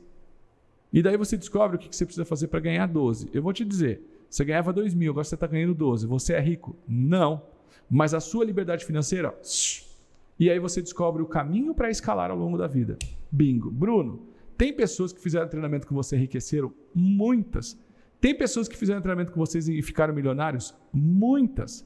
São a maioria? Claro que não. A maioria tem um salto financeiro, descobre o seu próprio caminho. E é a coisa que eu falo. Encontre a sua própria definição de sucesso. Tá, aí você não quer o que eu quero, eu não quero o que você quer. E esse é o erro que as pessoas têm. Então, uma das coisas que o treinamento ensina é o que, que você quer, do que, que você é feito, para onde você vai, o que, que é prosperidade para você. E aí a pessoa se liberta, né? Tem isso de não se comparar também, né? Tem, ficar tem. Comparando. E é bem legal. Nossos alunos tiram foto, mostram na comunidade. Eles são, são doidos em relação a isso. Tem foto disso aí, não? Não, a gente tem um depoimento de alunos, dois depoimentos. Não, aquelas fotos, aquela foto que eu mandei para ti não rola, não? Não? Eu posso mandar agora aqui para... Não, é porque eu fiquei muito feliz que enquanto eu, eu, a gente se preparava para gravar isso, e eu vi que vocês estavam com um troféuzinho aqui em cima, e na hora, na hora, vou mandar para o Axel, se der para pôr aqui, Axel. É, na hora eu falei, nossa, é uma pessoa que estava há muito tempo, um advogado. Que postou a foto que, com o troféu, que né? fatura bem, que não é uma pessoa que estava mal. E ele não estava com a governança financeira. Foi uma pessoa que participou dos programas, uma pessoa que eu mandei aqui para o Axel, se der para pôr, Axel. E é uma das coisas que a galera põe o tempo inteiro. A galera põe o tempo inteiro. Foto tirando o troféu, porque isso daqui significa uau, assumir o nível da governança financeira. Sabe, sou né? adulto financeiramente? Uhum. Então, para mim, não é inteligência financeira. É governança. Eu te explico por quê. Você não precisa ser inteligente para fazer uma receita. E prosperidade é receita, Thaís. Prosperidade não é um dom de Deus que alguns têm, outros não têm. Prosperidade não é uma inteligência suprema de quem estudou em Harvard e outros estudaram na Imperatriz Leopoldinense. Não, não é isso, sabe? É, ou estudou na, no Tancredo do Amaral, que nem eu. Em Salto, a gente estudou no Tancredo do Amaral, que era assim, ó. Tancredo do Amaral, entra burro, sai animal. Sim, sim, era assim, os meninos falavam isso. Tancredo do Amaral, entra burro, sai animal. Aí tinha a escola particular, que era o coleginho. Sabe como é que era o coleginho? Coleginho, entra homem, sai. Ih, não vou falar, porque senão vai dar problema. Entra homem, sai viadinho. Era o que a gente falava. Não era o que eu falava, eram os meninos, eu só estou relatando. ouvia, né? É um fato histórico. A galera, quem estudou no coleginho aí? Na Sagrada Família? Quem estudou no Tancredo do Amaral? Então era uma escola de alto nível, a escola da, da ralé, da chinelada, né? Sou muito grato. E Tancredo do Amaral entra bolsa animal. Então, é, a gente está aqui para isso, para a gente quebrar padrões. Vai dar para pôr, ô, ô, filho Guto? O que, que ele falou? Um minuto. Um minuto. Porque é, não tem problema também se não der, tá? Vamos seguindo em frente. Então, esse aqui é um troféu, eu gosto muito dele. É o troféu Governança Financeira. No treinamento, em alguns dias, eu já ensino a pessoa a fazer um exercício de ROI. Sabe o que é o ROI? Não é o menudo. Você lembra dos menudos? Não se reprima, não é o menudo. Claro. ROI em inglês é uma sigla para Return on Investment. Return on Investment é retorno do investimento. O retorno do investimento é se você investiu um e voltou dois, o seu ROI é dois. Você pega o que você ganhou dividido o que você gastou, dá dois. Se você investiu dois e você ganhou 10, você pega 10 dividido por 2, dá 5. Agora, se você investiu 10 e você teve um retorno de 8, você teve um ROI de 0,8, não se pagou. Uma das coisas que eu ensino é a gente tem que ter a mentalidade lucrativa. E isso é treino, isso é exercício. Como que eu faço em 30 dias um programa que a pessoa compra com a gente se pagar? E tem um caminho. A gente chama de grande faxinão. E muita gente no 17, no 18 dia do, do circuito da riqueza, que a gente faz, que é 33 dias, já pagou o treinamento e já teve ROI. Isso é falta de treino, Thaís. As universidades só querem ensinar a gente a fazer o próximo nível. Nenhuma faculdade ensina a gente a lidar com dinheiro com prosperidade. Os nossos pais não ensinam a lidar com dinheiro com prosperidade. Alguns ensinam a lidar com dinheiro e viram suvina. Esses dias eu vi na internet um vídeo que para você ganhar um dinheiro você tinha que economizar no detergente, usar o detergente com conta-gota. Ah, eu vi isso também. Então isso daí é você é o culto à suvina, é um culto à, à, à, à miséria mental. Tem uma fase da vida da gente que você tem que segurar a torneira e gastar pouco. Muitas famílias que estão me vendo têm que aprender a gastar menos. Sim. Mas treinar o ser humano para essa escassez faz com que quando ele tiver que gastar, ele vai sentir dor de gastar, ele vai sentir culpa de gastar e ele estraga tudo o resto. O nosso programa não tem nada a ver com isso. É um culto à prosperidade, ao equilíbrio das forças. E não essa coisa de, ai, não vou tomar um cafezinho que eu não posso gastar. Espera aí, a vida é equilíbrio, não é assim. Tudo aquilo que é rígido demais dá problema. E no dinheiro, ser suvina, sabe? Ser é, essa palavra é, é, sabe? Ser mildeiro, ficar ali, não vou gastar. Vai num restaurante, ó, o seu deu um real a mais e você, oh, falta um real. Você acabou com a sua vida. Tu vai só atrair cada vez mais escassez, na verdade, é, né? Só escassez. É assustador como na internet brasileira tem que a solução é essa. E a solução não é, você tem que controlar os gastos, não pode ser o mão aberta, que estraga tudo. Porque o dinheiro não suporta idiotas, né? Então, se Uhum. você desrespeita o dinheiro, o dinheiro se transforma no seu, no seu servo. Sabe, você vira servo do dinheiro, melhor dizendo. Olha que forte Ele isso. se transforma no seu dono, no seu patrão. E dinheiro não nasceu para ser patrão. Dinheiro nasceu para ser servo. Você é o patrão do dinheiro. Dinheiro não nasceu para te dominar, você nasceu para dominar o dinheiro. Aquela passagem bíblica, Timóteo 6,10. Porque o dinheiro é a raiz de todo mal. Essa passagem, quando a pessoa lê só ela, esse começo, está erradíssimo. Porque logo em seguida vem alguns homens, por cobiça ao dinheiro, se perdem no caminho lá, lá, lá. Então tá ali logo na passagem, não é o dinheiro a raiz de todo mal. É a cobiça ao dinheiro a raiz de todo mal. E cobiça é ego. E ego é o ruim do ser humano, é o demônio interno de cada um. Então o problema não é a raiz de todo mal, não é o dinheiro, é o ego, que é o demônio interno de cada um. Uhum. E o dinheiro só revela o que as pessoas são. Então, quando você tem a cobiça, ou quando você tem o desequilíbrio emocional, o dinheiro, ele se manifesta como uma coisa envenena, é venenosa na tua vida, tóxica. Por isso o dinheiro só revela quem, o que a pessoa é. Ah, o dinheiro vai subir para a cabeça. O dinheiro não sobe para a cabeça. O que sobe para a cabeça é o ego. Veja, quando a pessoa não tem grana, tem prostituição, tem drogas, tem roubo, tem é, crimes. Quando a pessoa tem muito dinheiro, tem roubo, tem droga, tem prostituição, tem crimes. Aqui tem muito dinheiro e dá problema. Aqui tem nada de dinheiro e dá problema. Então o problema não é o dinheiro. O que está nos dois, tanto com muito dinheiro ou sem dinheiro? O ego humano, porque aqui embaixo não tem dinheiro. Então onde está o ego humano dá problema. A gente tem que fazer esse caminho de reforma. Só que cada um de nós não sabe fazer isso. Eu sou muito grato a Deus porque antes de ser um mentor de prosperidade, eu fui terapeuta há muitos anos. Uhum. E está na raiz da, da, das emoções humanas, na sua missão de vida. Honrar pai e mãe é uma coisa muito séria, honrar não é, não é amar. A relação familiar é a coisa mais importante que tem. Sobre prosperidade, você morando com a sua família ou não, você tendo os pais vivos ou não, é a relação mais importante que tem para prosperar. Assim como um, um, uma semente só nasce se a terra germinar, se a terra da gente, vamos entender terra como base, a gente não tiver o equilíbrio dela, ela nunca vai alimentar do jeito certo. As pessoas não entendem o que é família. Se é uma coisa que a gente fala muito sobre família prata, família ouro, né? Enfim, é uhum. é muito tema sobre isso, né? Muita coisa. Tem, não tem a foto aí não, filho? Não tem, não, lascou a foto. Obrigado aí por não conseguir para mim, tá não, tudo bem. Podia ter enviado antes também. Não dá nada, foi, tá foi... tudo bem. É assim mesmo, né? É. Internet é isso aí, não tem rolo. Aí ele vai falar assim, não podia ter avisado antes, tal. Eu já entendi, já entendi o recado. Seguimos, Thais. Então, a gente eh, tem algumas coisas que tu fala bonsai, nação hortelã. Né, dar uma Bonsai Nação Hortelã, tá é, bom. Primeiro é o seguinte, você está nos assistindo agora, número um. Se inscreva no nosso canal. Esse aqui é o Mundo Próspero. É o novo velho podcast daqui do Luz da Serra, do canal Bruno de Mendes, para falar de prosperidade. A gente quer a tua ajuda. Deixe seus comentários, faça suas perguntas. Você viu, a Thaís puxou todos os episódios anteriores para trazer esse materialzão aqui e vamos começar a responder vocês nos próximos também, tá?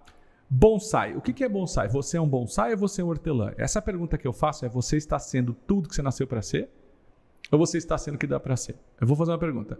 O que, que aconteceria se o sol não brilhasse tanto? Ele brilhasse só 70%? O que aconteceria? Uh, as plantas morreriam.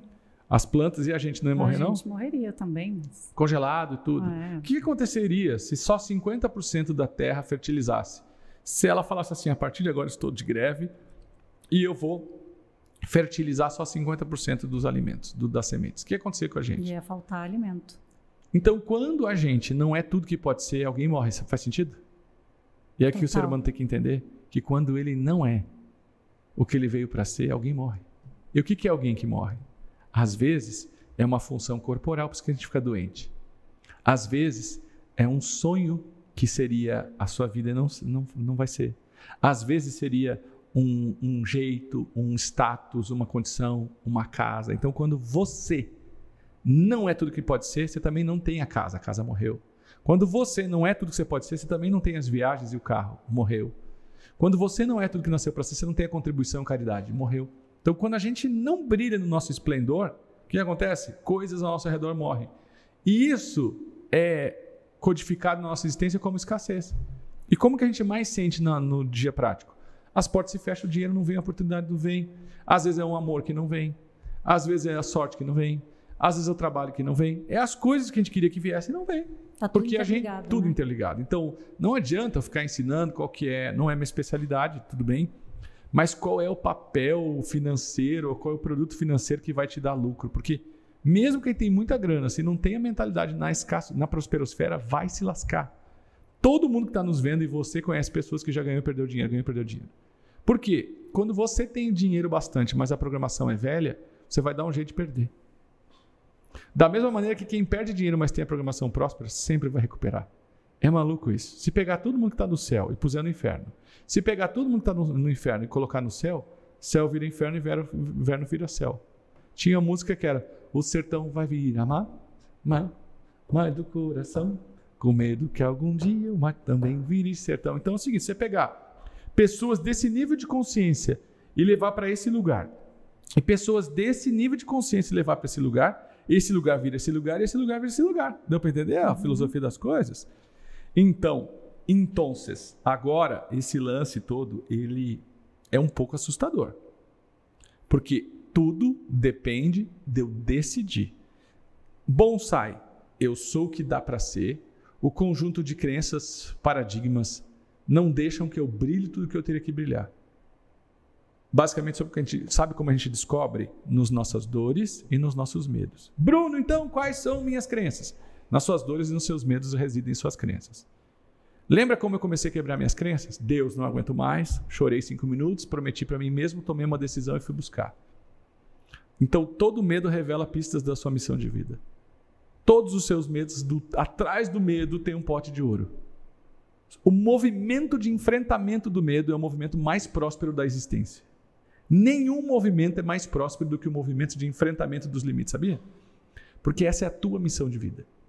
A tua missão é ser tudo que nasceu para ser. A sua missão é se expandir. Então, todas as vezes que eu estou enfrentando um limite, eu estou com medo, mas eu estou com energia. Eu estou com medo, mas eu tenho sinais. Então, preste atenção quando você tomar decisões em relação a combater seus medos, você vai ver que portas estão abri se abrindo. Da mesma maneira que às vezes você toma uma decisão de enfrentar o medo, todas as portas se fecham. Esse e movimento aí? é comum. É um movimento de autossabotagem. É você que não está querendo enfrentar o medo, que sabe que quando enfrentar, a sua vida vai se abrir. O inconsciente faz autossabotagem. Forte, né? É forte, mas é real. E se a gente não atuar na autossabotagem, por isso que o nosso programa Hora Money, ele trata a autossabotagem. Se você não tratar a autossabotagem, a autossabotagem ela te enrola. Quantas vezes a pessoa estava num, numa coisa assim, ó, de exercício físico, pá, pá, pá, pá, ela torce o pé. E aquela torção de pé, acredite, foi autossabotagem, medo de sucesso. Quantas vezes a pessoa está num relacionamento amoroso lindo, começa a brigar por nada? Autossabotagem. Quantas vezes a pessoa está com as contas em dia, direitinho, prosperando, ela vai e faz uma conta, uma compra errada? Autossabotagem. Ela não sabe a raiz. A raiz está numa culpa inconsciente. Os ricos não vão para o céu. Dinheiro piora as pessoas. Ela aprendeu isso, isso está no inconsciente. Então, conscientemente, dinheiro, felicidade, sucesso. Inconscientemente, você não pode. Então, é por isso aquelas pessoas que falam: ai meu Deus, minha vida está tão boa, parece que vai acontecer alguma coisa. Ai, será que eu mereço isso? A pessoa não aceita. Se você não abrir esse processo de aceitação, mas não é assim, ah, eu tenho que dar permissão. Escutei esses dias uma pessoa falando na internet, ah, eu tenho que dar permissão, então eu não dou permissão. Cara, não é assim. Você dá permissão, dinheiro, te dou permissão. Ele não vai entrar. Certo? Não vai. Eu te dou. Não é assim. A permissão ela se dá através de uma decisão. Eu vou buscar o que tem que ser buscado. Os meus medos revelam pistas da minha missão de vida. Eu vou acionar o, efeito Chuck Norris. Lembra Chuck Norris? E eu vou para cima e eu vou quebrar. E quanto mais eu quebro isso, eu sinto minha energia vindo. E aí eu vou viciando na dopamina de vencer meus limites. E aí o sucesso se dá. Então, Prosperidade é hoje, amanhã e depois. Você faz, você faz de novo, você melhora, você vê, você faz, você faz de novo, melhora. Melhora os ambientes, melhora suas metas, melhora seus sonhos, melhora seus objetivos, se conecta mais com Deus. Não há prosperidade se você não souber quem você é. E isso precisa de você se conectar com o todo. A prosperidade em si se dá quando você é quem você nasceu para ser. Ser bonsai quer dizer eu não sou o que nasci para ser.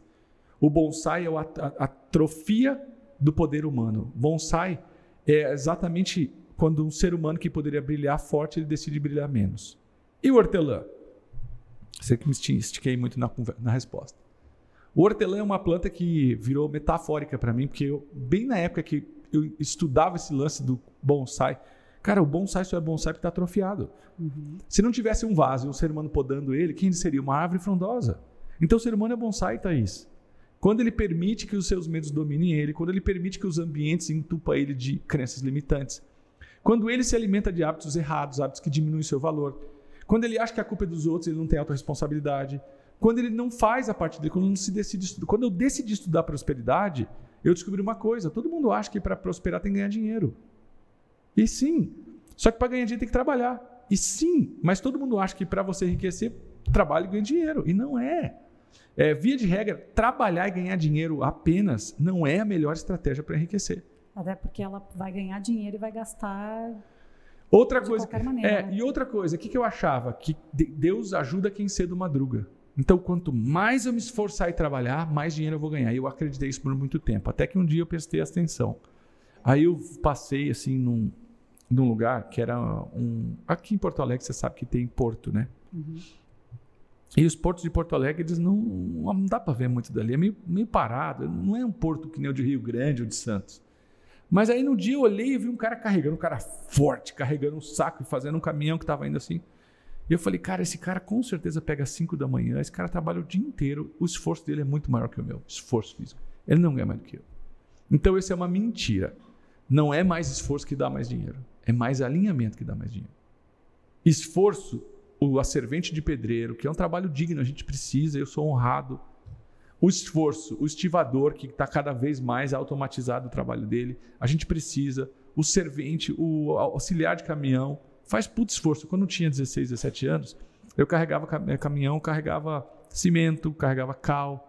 Putz, você pegar um moleque que nem eu, pesava 64 quilos, carregava um saco de cimento de 50 quilos, de noite, eu com 16 anos, eu tinha uma dor nas costas terrível. Fazia muito esforço. Então, não é a medida do esforço que determina a medida da sua grande sua prosperidade.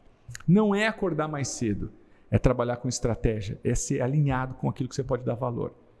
Quando a gente não é alinhado com dar valor, o que a gente vai procurar no mercado? A gente vai procurar ser o que os outros são e que está dando certo. Então, eu vou procurar a receita de sucesso dos outros e vou copiar.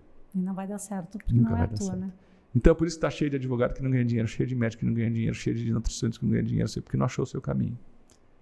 É óbvio que é honrado todas as profissões, mas o que a gente fez? A gente fez um esforço para se encaixar numa gaveta que o mercado já deu. E é, é muito disruptivo você criar a sua própria gaveta, criar a sua própria, própria uhum. caixa. E eu fiz isso quando eu saí da indústria. Eu fui criar, eu criei profissões no Brasil. Eu tenho algumas profissões que eu e a Patrícia criamos, alguns modelos de negócio que a gente criou. Então, quando você começa, né, que o impossível é um lugar que tem menos concorrência, já dizia o Walt Disney, mais ou menos isso. Porém, poucas pessoas têm coragem porque elas querem fazer aquilo que elas já vêm certo, o tal do não, melhor o certo do que o duvidoso. E o hortelã é o oposto disso. O hortelã é se alastrar e ser tudo que eu posso ser. O hortelã, quando eu plantei no meu jardim, eu fui viajar, voltei uns dias depois, ele se alastrou, porque foi plantado no chão e ele cresceu para onde ele quis. O vaso que não existia não diz para ele só cresce até aqui. O hortelã se alastrou, como se eu olhei aquilo e falei, meu Deus, eu quero ser hortelã. Então eu comecei a falar, quero ser hortelã. Por quê? Porque o hortelã se alastrou. E o bonsai, por estar dentro do vaso, por estar sendo podado, por estar com o vaso atrofiando ele, é amarrado com arame as, as, as raízes. É horrível. Ele só cresceu aquele tamanho. E o hortelã não cresceu tudo. Então foi por isso que na nossa comunidade de alunos e seguidores, a gente fala, e aí nação hortelã? A nação de pessoas que decidiu ser tudo o que pode ser, não o que dá para ser. Quando a gente decide ser tudo que pode ser, tem uma frase que diz: Não importa o tamanho dos seus sonhos, Deus quer muito mais para você. É isso, Thaís. É ser aquilo que a gente nem imagina, vou ser sincero. Eu sempre criei na minha mente ideias de grandeza. Eu aprendi com 17 anos a fazer visualizações e mentalizações. Mas algumas coisas que aconteceram na minha vida, nem o melhor dos melhores sonhos, meus 17, 20, 22 anos, poderia concluir. Eu nunca imaginei que eu ia ser autor de 12 livros best-sellers, 26 livros. Eu era um estúpido, um burro, um imbecil na língua portuguesa. E quer saber melhor? Eu ainda sou. Eu às vezes não sei como é que escreve é, você está falando isso, mas é verdade. Eu escrevo bem de me comunicar bem, mas colocar as palavras com S com cedilha do jeito certo. Inclusive, você viu no grupo de gestão ontem? Recência? Eu, eu vi uma, uma Entendeu? Aí eu escrevi errado, a Patrícia nem entendia. Eu falei, ah, vai, teu cérebro escuta igual, o seu cérebro não escuta com o seu, com essa. Ela, não, eu não escuto, eu não entendo. Eu falei, não, para mim é a mesma coisa. Então, quando eu falo isso, você fala, não, eu tenho 26 livros escritos e eu não sabia se recência era com S ou com C. O recência veio de recente, que é com C, e eu nem liguei, pus com dois S, a Paty zoou comigo. Então, eu decidi, a gente tem que entender que a oração mais profunda que você pode fazer é a que eu faço, eu vou revelar aqui a primeira vez. Deus, me faz caber dentro da sua ambição. Não me deixa caber dentro da minha. Porque a minha ambição é o controle, é a proteção, é o ego. E ela me dá escassez, ela me dá bonsai. Deus me deixa caber dentro da sua ambição, ela me faz hortelã. Então, quem me segue, quem é meu aluno na Oramani é da nação hortelã. E se você quer ser hortelã, escreve hashtag sou hortelã. Porque a partir de agora está na hora de você quebrar o vaso. Então é isso que eu ensino meus alunos. Bruno, o que você ensina os seus alunos a fazerem? Quebrar o vaso, deixar de ser bonsai passar a ser hortelã. Ser tudo que nasceu para ser. Então, muita gente deve estar assistindo agora Uhum. e, querendo saber, tá, e, e Hora Money?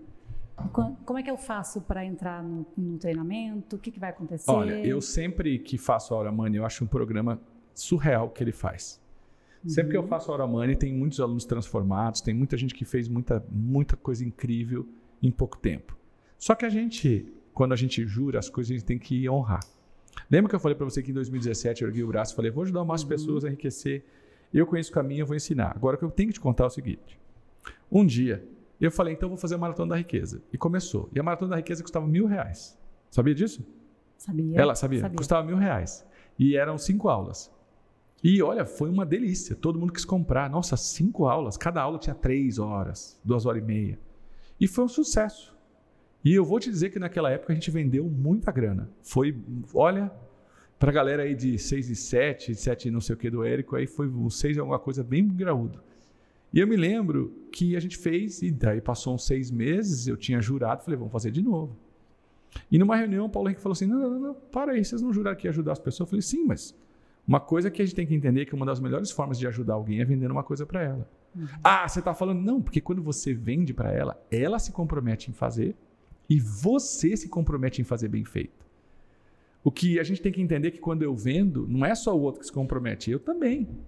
Quando eu vendo um treinamento, quando eu vendo um livro, quando eu vendo não sei o quê, eu me comprometo a entregar. Quando eu vendo uma consultoria, quando eu vendo uma palestra, o contratante contrata uma palestra minha, eu tô ali me cuidando de noite, domingo, amor, vem dormir não, tô arrumando a... tô com- comprometido. No outro dia eu acordei, não vou melhor, tô focado naquilo. Então a gente estava focado naquele treinamento que tinha dado certo. O Paulo Henrique falou, faz de graça. Eu falei, você tá louco? Como é que a gente vai pagar as contas? Somos uma empresa. Quem que vai pagar a filmagem? Quem que vai pegar isso? Quem que vai pagar estúdio? Quem que vai pagar isso? Eu falei, não, não é bom esse treinamento de vocês? O Paulo Henrique é nosso terceiro sócio. É. Ele não muda as pessoas? Muda. Mas ele não dá prosperidade? Dá.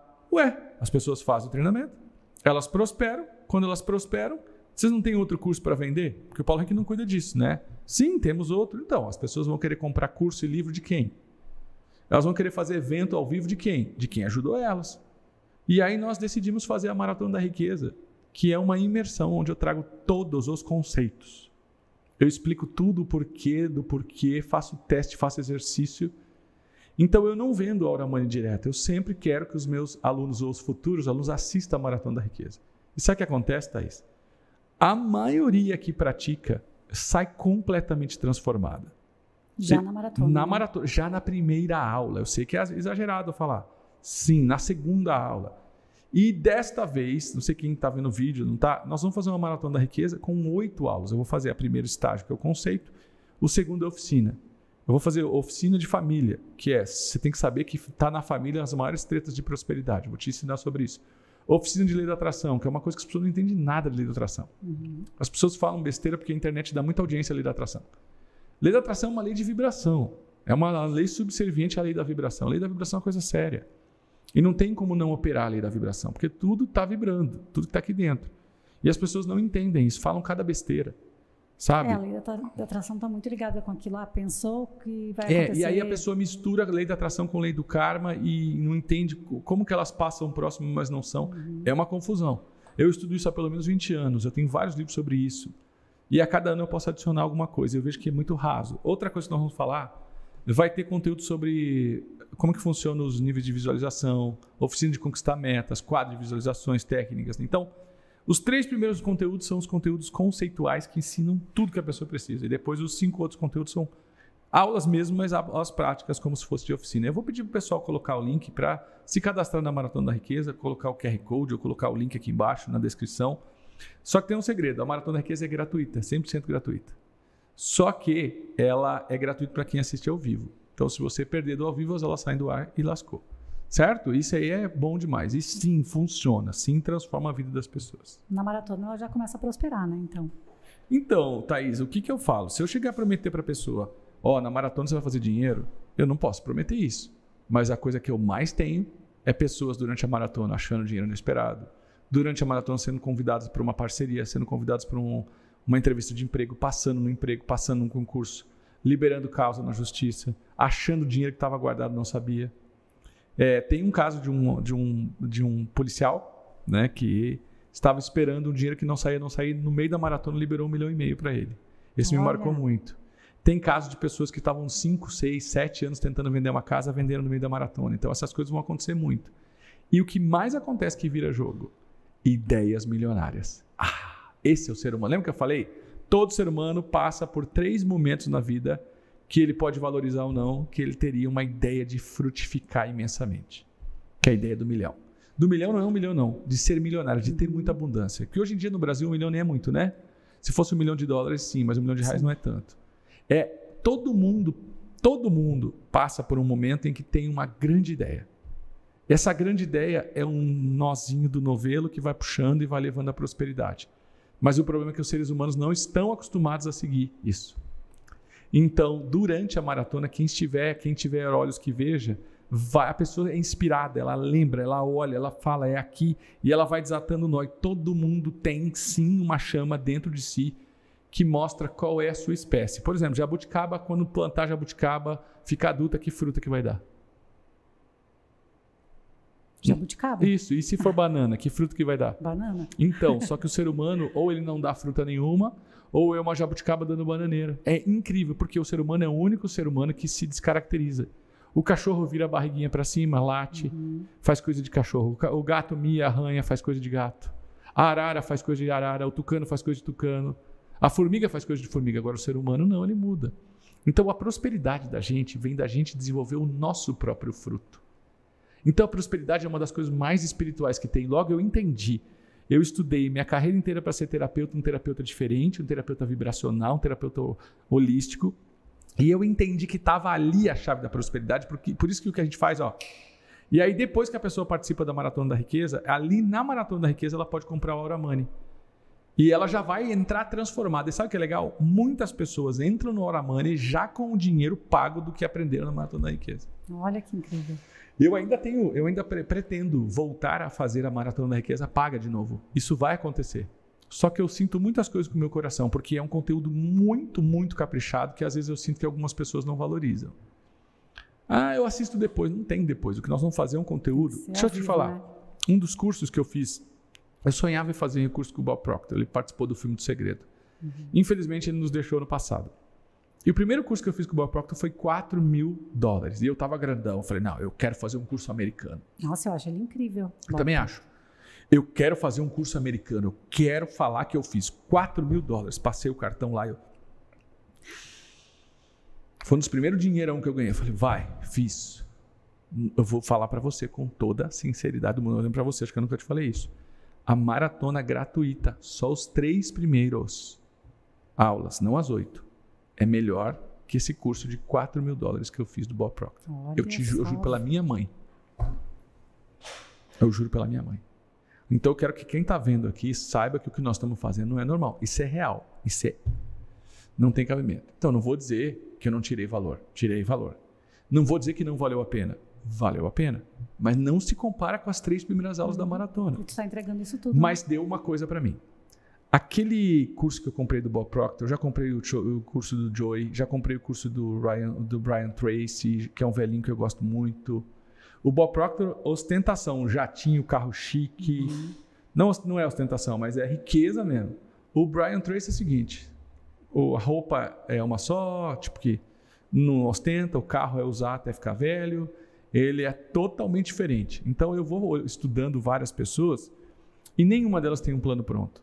O que eu acho que me deu poder para chegar onde eu cheguei, sinceramente, é a minha visão espiritual das coisas. Porque um ser humano que quiser prosperar e não tiver essa conexão interior, essa capacidade de ser inspirado, que eu chamo de ação inspirada, ele não vai ter a verdadeira prosperidade, ele vai ficar sempre buscando dinheiro. Então, deixa eu te explicar. Estou tomando água aqui, tá? Estou tomando água, beleza? Hum.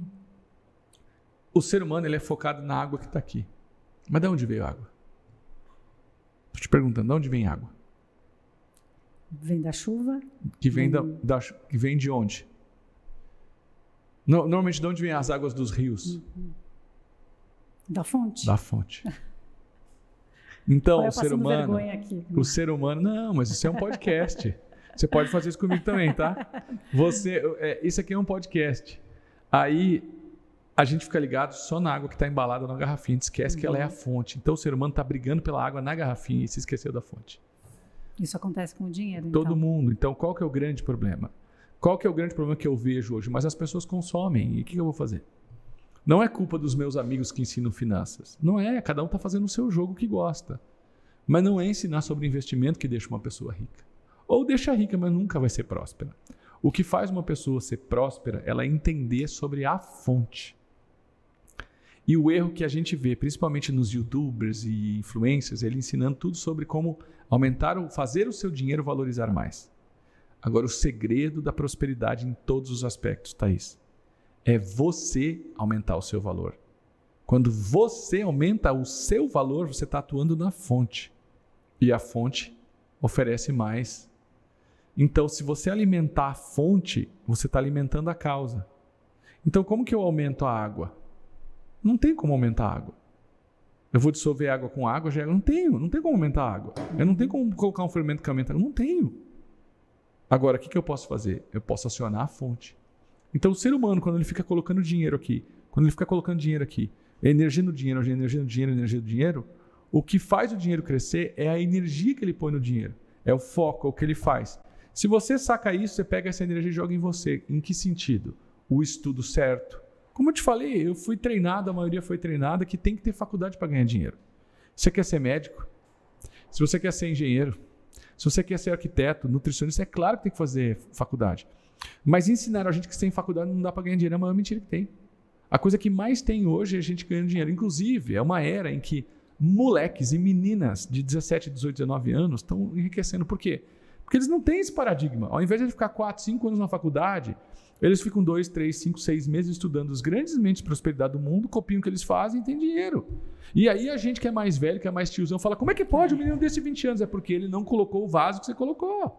É. Eu não estou falando que eles têm 100% de moral, não estou falando que eles têm 100% de integridade, muitos têm, muitos fazem. Porque eles estão estudando, eles não, não criaram esse modelo mental que tem que estudar para entrar numa empresa ou trabalhar em algum lugar para depois ser alguém. Eles cortam, eles falam como é que eu gero valor. Eles vão fazer o que o mercado paga. Fazer o que todo mundo faz costuma pagar pouco. Então é o seguinte: tem profissões que não vão pagar mais caro. É, é, não vão pagar mais caro. Exemplo, Nutricionista. Para você ser um nutricionista que ganha bem, você tem que ser muito diferente. Uhum. Médico. Tem que ser muito diferente. Um motorista. Tem que ser muito diferente. Engenheiro. Tem que ser muito diferente. Você já sacou, né? Então, se a gente não tiver diferencial, a gente é igual a todo mundo. E quando a gente é igual a todo mundo, o mercado te fala quanto tu vale. Então, você vai escrever uma coisa: o mercado nenhum vai colocar preço na minha testa. Só que quando você faz o que todo mundo faz, o mercado põe preço na sua testa. Agora, quando você adquire habilidades novas, você põe preço na testa do mercado. Tá aqui, é isso que eu valho. Você não quer pagar? Ah, vou aqui.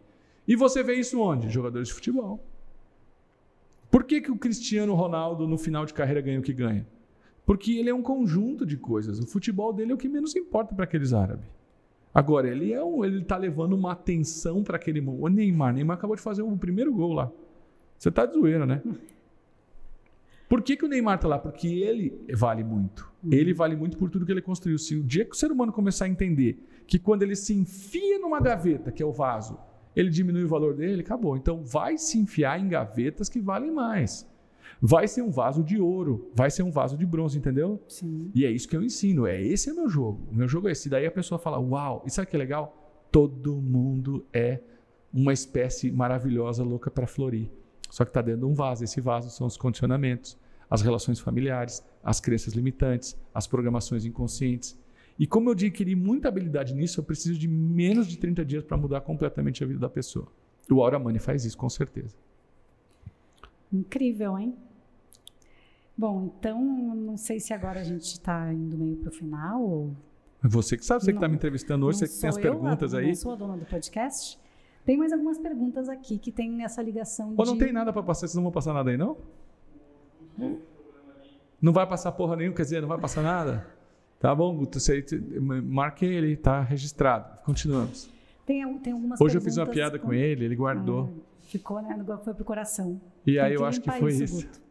Tá né? bom, continuamos. Tem eh, algumas perguntas com relação à prosperidade Vamos. e espiritualidade. Claro, adoro. Qual a relação de prosper... ser Total. próspero com a espiritualidade. Total. Nossa missão aqui na Terra é crescer, expandir e florir.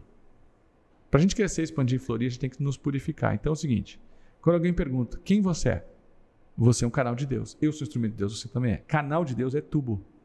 Canal de Deus não é caixa d'água. Caixa d'água fica retido, canal passa. Eu sou um canal de Deus. Minha missão: expandir e melhorar o mundo. Eu expando e melhoro o mundo, me melhorando, e quando eu me melhoro, eu melhoro o resto. Essa é a minha missão aqui. Isso é exatamente o que é prosperar. O que é prosperar? Crescer, frutificar, abundância, abastança. Então a espiritualidade e a prosperidade são a mesma coisa. Só que existe uma espiritualidade que está conectada à religião, que está conectada às doutrinas e às religiões. E é paradigma. E o que é sério? Isso eu vou falar na Maratona da Riqueza em detalhes. Uh, o que é sério é que as religiões da Idade Média, as religiões medievais, elas entenderam que as pessoas com mais dinheiro se sentiam mais livres. Quanto mais dinheiro eu tenho, mais liberdade eu tenho, mais poder eu tenho. E eles perceberam que isso não era um bom, não. Então, quanto mais pessoas entendessem o que fazer para ganhar dinheiro, mais pessoas teriam dinheiro, mais pessoas teriam poder, mais elas dependeriam menos da igreja. Quanto mais poder e dinheiro eu tenho, menos igreja eu preciso. E aí começou a se trabalhar uma ideia de que demonizar o dinheiro, que o dinheiro não vai para o céu, que o dinheiro é ruim, que o dinheiro é isso. E começou a se criar um jeito de mandar esse dinheiro para que a igreja fosse a mais poderosa do que os outros. Aqui estou dizendo, questionar a religião não é questionar Deus. Questionar a religião não é questionar Deus. Eu não estou questionando nem o seu Deus, nem o meu Deus, nem o nosso Deus. Espero que seja o mesmo. Eu estou questionando estruturas religiosas. E não estou falando que todas as religiões são assim, mas existe em todas as religiões uma parcela em toda a base da construção da religião. Uma parcela tem como objetivo criar controle. E quer que eu seja sincero, lá na Idade Média era uma várzea. Então a religião queria colocar controle na galera mesmo, porque estava difícil demais. Só que nisso se perdeu. Dinheiro dá poder, poder dá liberdade. Liberdade quebra o sistema. Que sistema? O sistema dos outros e te dá liberdade de você fazer o teu.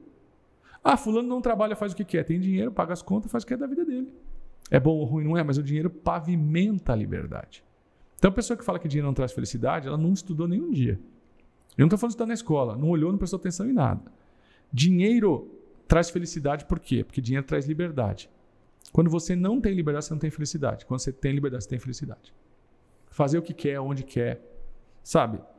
Dinheiro para morar onde quer, dinheiro para conviver com quem quiser, dinheiro para fazer o que quiser, na hora que quiser. O dinheiro ajuda isso. Ele resolve, ah, Bruno, então você faz o teu horário. Aham. Uhum. Não. Claro que não, mas eu tenho uma certa liberdade porque eu sou muito comprometido com o meu trabalho. Agora, se eu tivesse a pessoa rebelde com o tempo e falasse, eu vou trabalhar só para que eu controle meu tempo e pronto, é que isso não é uma dor para mim, porque eu amo trabalhar. Uhum. Mas se fosse, eu conseguiria. Então, essa é uma libertação e é muito difícil. Onde eu vou morar? Eu escolhi morar aqui. Eu sou de São Paulo, eu vim morar aqui na Serra Gaúcha, em tantas cidades, eu vim morar em Nova Petrópolis, que é o Jardim da Serra Gaúcha, a Europa brasileira. Com quem eu vou casar? Muitas pessoas se casam por outras pessoas porque não tem opção. Por interesse é pesado, não é por interesse, é por medo, é por conveniência, é por dependência. Com quem eu vou conviver? Adoraria estar com outras pessoas, mas é só vocês que têm. Então o dinheiro ele trava as melhores decisões da vida. E a partir disso, a gente sucumbe e agora vai pesar. A gente fica prostituto. Prostituta. Eu fui prostituto por muitos anos. Você vai achar que eu fui para esse corpinho aqui? Não, não é isso. Eu quero dizer que eu vendi o meu corpo, a minha sanidade, a minha saúde pelo dinheiro. Então, quando alguém faz o que não gosta só pelo dinheiro, a pessoa está se prostituindo. Eu sei que é pesado. E a gente tem que trabalhar para fazer algo. E não é gostar de tudo. Eu não gosto de tudo do meu trabalho, mas 70%, 80% é felicidade o tempo inteiro. 20% é um saco, 20% é chato, 20% é o dia que eu estressei, mas na maioria das vezes eu estou bem. Então, é dentro desse processo, quando você entender que as pessoas prosperam porque elas pensam de um jeito, você vai experimentar um nível de felicidade e de liberdade que você vai se perguntar por que, que eu não busquei isso antes. E é aí que está a verdadeira essência da espiritualidade, da missão de vida. Então, na minha opinião, a conexão é 100% a mesma. Logo, se todo mundo souber que através da prosperidade eu experimento a iluminação, a liberdade, e isso me dá espiritualidade. Uou, quer ver outra mentira que inventaram? Não, o que interessa não são os, reinos, os tesouros da terra, o que interessa são os tesouros do céu. É, e já escutei falar, o que importa são os tesouros do céu. Não, o que mais importa, em verdade, são os tesouros do céu. Só que para chegar aos tesouros do céu, conquistar e dominar os tesouros da terra, é um degrau antes.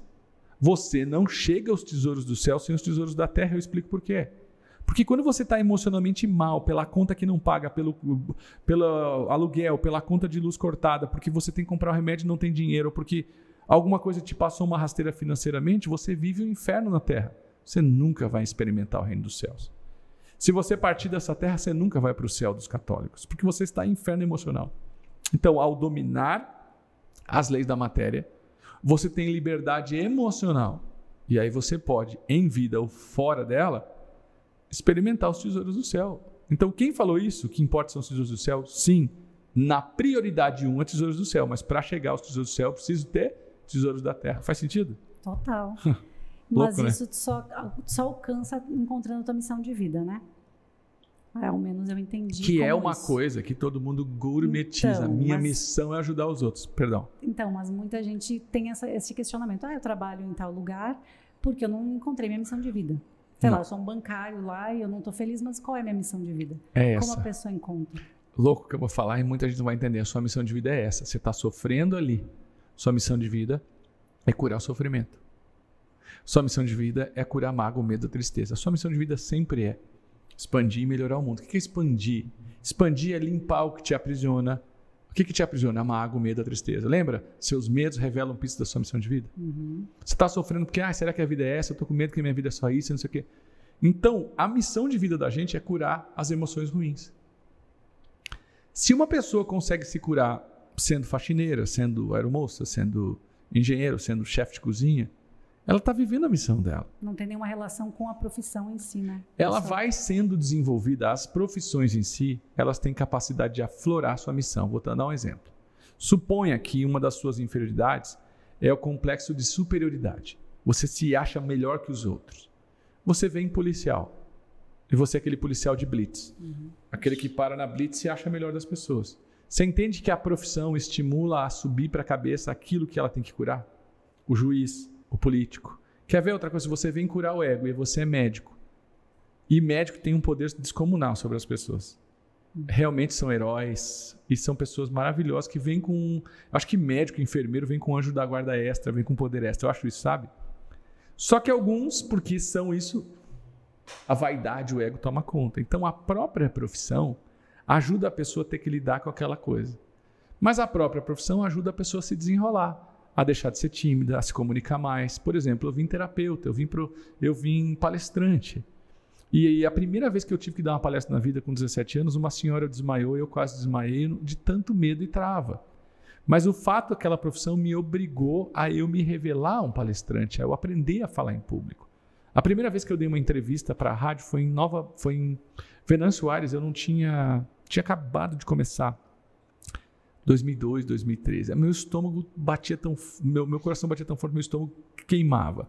A primeira entrevista de TV que eu dei foi numa TV universitária de Santa Maria, a cidade que eu amo. E eu quase morri do coração. E era uma TV universitária. Então, o que eu quero te dizer é que todos esses impulsos de ter que falar em público, ter que falar em público, foi me obrigando a limpar o medo de falar em público. Sabe o que é o medo de falar em público? Vaidade, orgulho, o que os outros vão pensar de mim. Então você não tem medo de falar em público.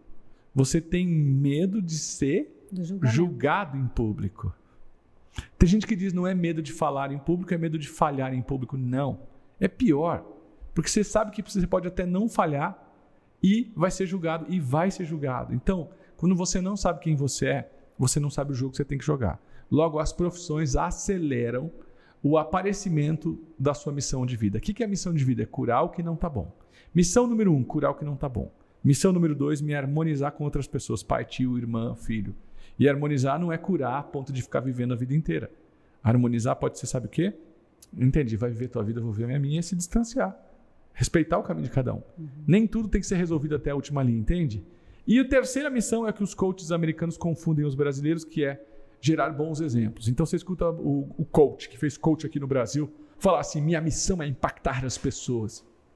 Veja, sua primeira missão é melhorar quem você é. A segunda é melhorar suas relações. E a terceira é gerar bons exemplos. Se eu focar na terceira sem melhorar a segunda e a primeira, eu viro esses idiotas. E deixa eu fazer um adendo. Acho o coach massa, tenho amigos coaches foda. Acho que o movimento do coaching no Brasil foi bom, só que o que aconteceu? Em muita massa. O que, que acontece com uma família que um pai e uma mãe decidem ter 20 filhos?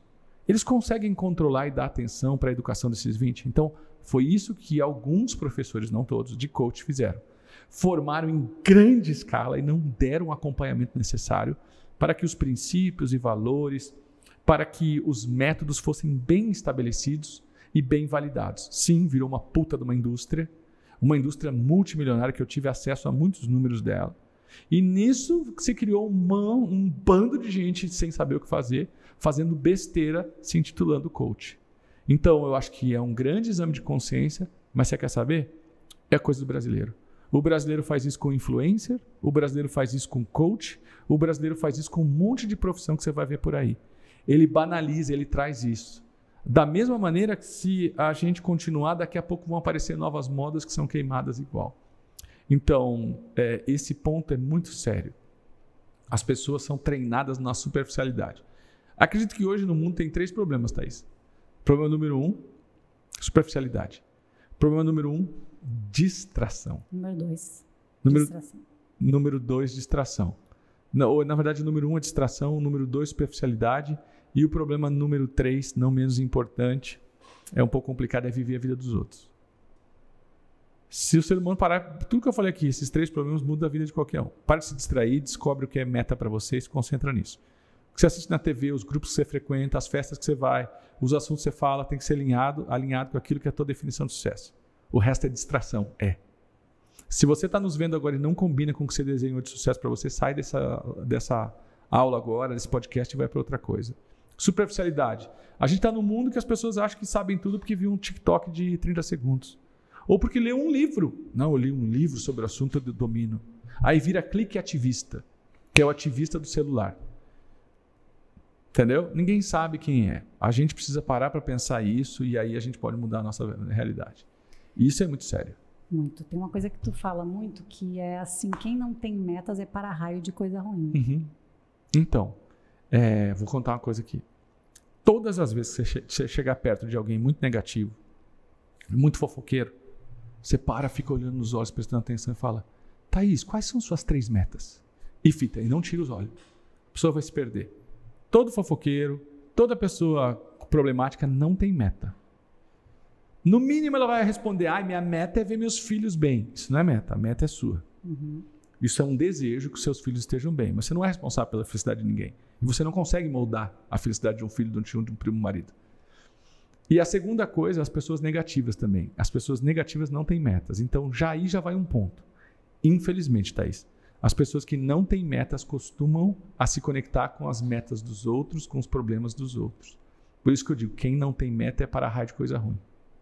Se você não tem meta, você fica vagando e o teu cérebro, ele é como se fosse uma antena. Ele é como se fosse um fecho de raio laser. Quando, sabe aqueles esguichos de molhar a planta? Você uhum. aperta, ele fica fininho, você solta, ele fica grossão. Quando você, que ele fica espargindo assim, né? Fica, ele fica borrifando.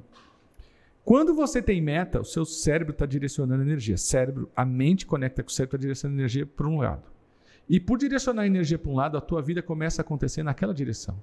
As coincidências começam a acontecer, as deucidências, como um amigo meu, Gilberto Chaves, fala. E você vai ditando a sua vida na direção do que é prioridade para você. Afastando as distrações e conquistando coisa. Hoje, amanhã e depois. Quando você não tem meta, você fica aquela curva de rio que tudo enrosca. Você perde esse efeito laser, fica amplo e você começa a se conectar com os outros. E aqui vai uma frase que uma aluna ontem da minha mentoria de fitoenergética falou. O cuidado que a gente tem com as outras pessoas. Sabe? Cuidado com o pai, com o tio, com filhos. Não pode ser desculpa para não fazer os enfrentamentos da vida. E a coisa que eu mais tenho visto, ah, é por causa do meu filho, é por causa do meu marido, é por causa da, não sei o quê, por causa da cirurgia, é por causa da, do cachorro que morreu, é por causa do não sei o quê os cuidados que a gente tem com outras pessoas não podem ser desculpas para evitar os enfrentamentos que a vida precisa. Forte, né? Nossa, muito. É, então, e aí, esse quem não tem meta para a raio de coisa ruim, você tem que ter metas. Quando eu falar quais são suas três metas, primeiramente aqui hoje, em 30 segundos, você tem que conseguir enxergar quais são as suas três metas de vida. Mas com o tempo é de 5 a 15 segundos, porque aquilo que a sua mente não pode ver, a sua energia não pode atrair. Nós estamos num prédio que por anos antes dele existir estava na minha cabeça. As portas, janelas eram meio diferentes. Do meu sócio, na cabeça do meu sócio era um pouco para cá, um pouco para cá. Mas nós tínhamos isso na mente. Então, da, um dos grandes poderes dos bilionários que eu estudei, B, B com B, B de Bruno, era o poder da visualização. E eu aprendi isso. Todos os dias de manhã, fecho meus olhos, visualizo o futuro. Fecho meus olhos, visualizo o futuro. A cidade que eu moro hoje, há 25 anos atrás, era completamente e absolutamente impossível. Completamente e absolutamente impossível. Eu enxergava um lugar com muita mata, com muita natureza e montanha. E hoje eu moro nesse lugar. E tem uma coisa também que eu nunca falei. Na minha casa tem um closet, tem o nosso quarto, aí tem aqui à esquerda um closet, é um closet super grande. E aí tem uma gaveta. E, é curioso que a Aline sempre acorda mais cedo que ela acorda às 5 e meia, 6 horas. E eu acordo 20 para 7. E aí a Aline sempre acorda e quando ela acorda ela vai malhar. E ela puxa uma gaveta que eu aqui onde eu estou sentado eu vejo uma frestinha do closet. E ela puxa uma gaveta e eu vejo ela de costas assim colocando a roupa de exercício.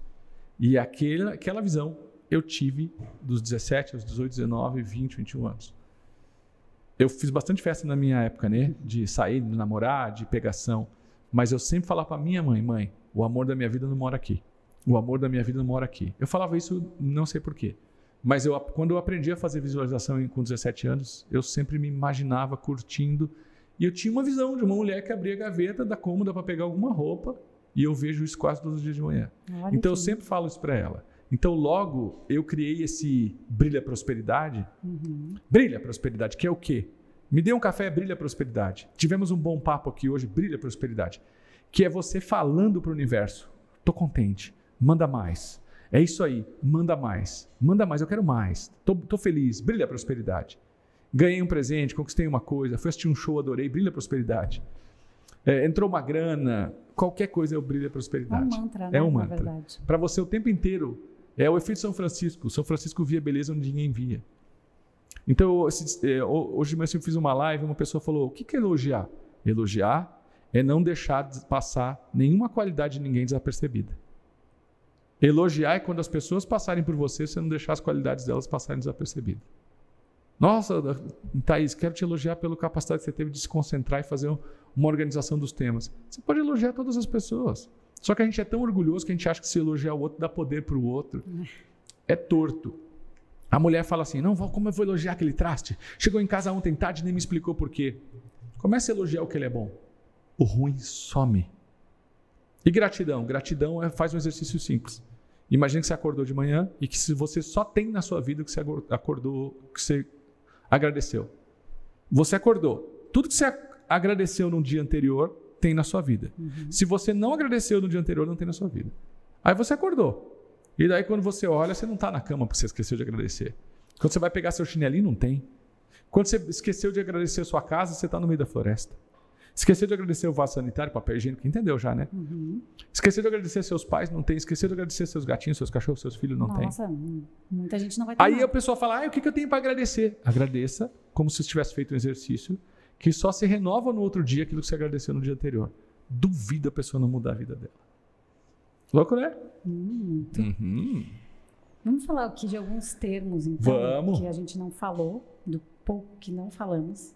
Significado de sorte é o magnetismo conquistado. Certo. Sorte é magnetismo conquistado. E aí?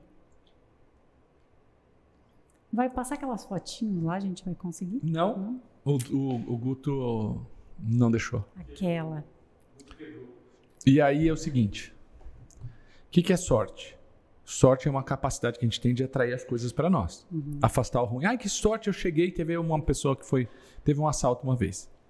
A gente estava no restaurante de um amigo meu, Tuco.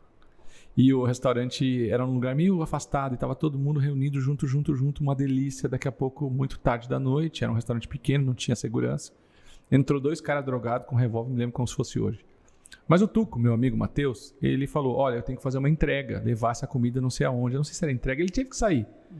E ele falou: Cara, só tinha amigos no restaurante. Ele falou: Você fica no caixa, gente muito amigo, ok? Eu vou ali e já volto.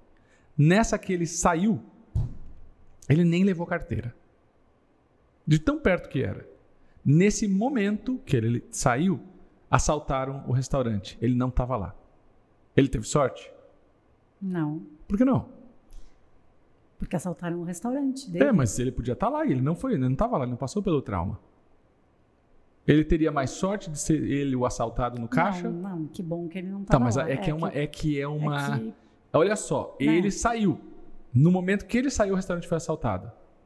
No cenário, ele teve sorte? teve sorte. Se você pensar em restaurante assaltado, ele não teve não sorte. teve sorte. Se você pensar que ele não estava no caixa, era eu, ele teve sorte. Ele teve sorte. E eu tive azar?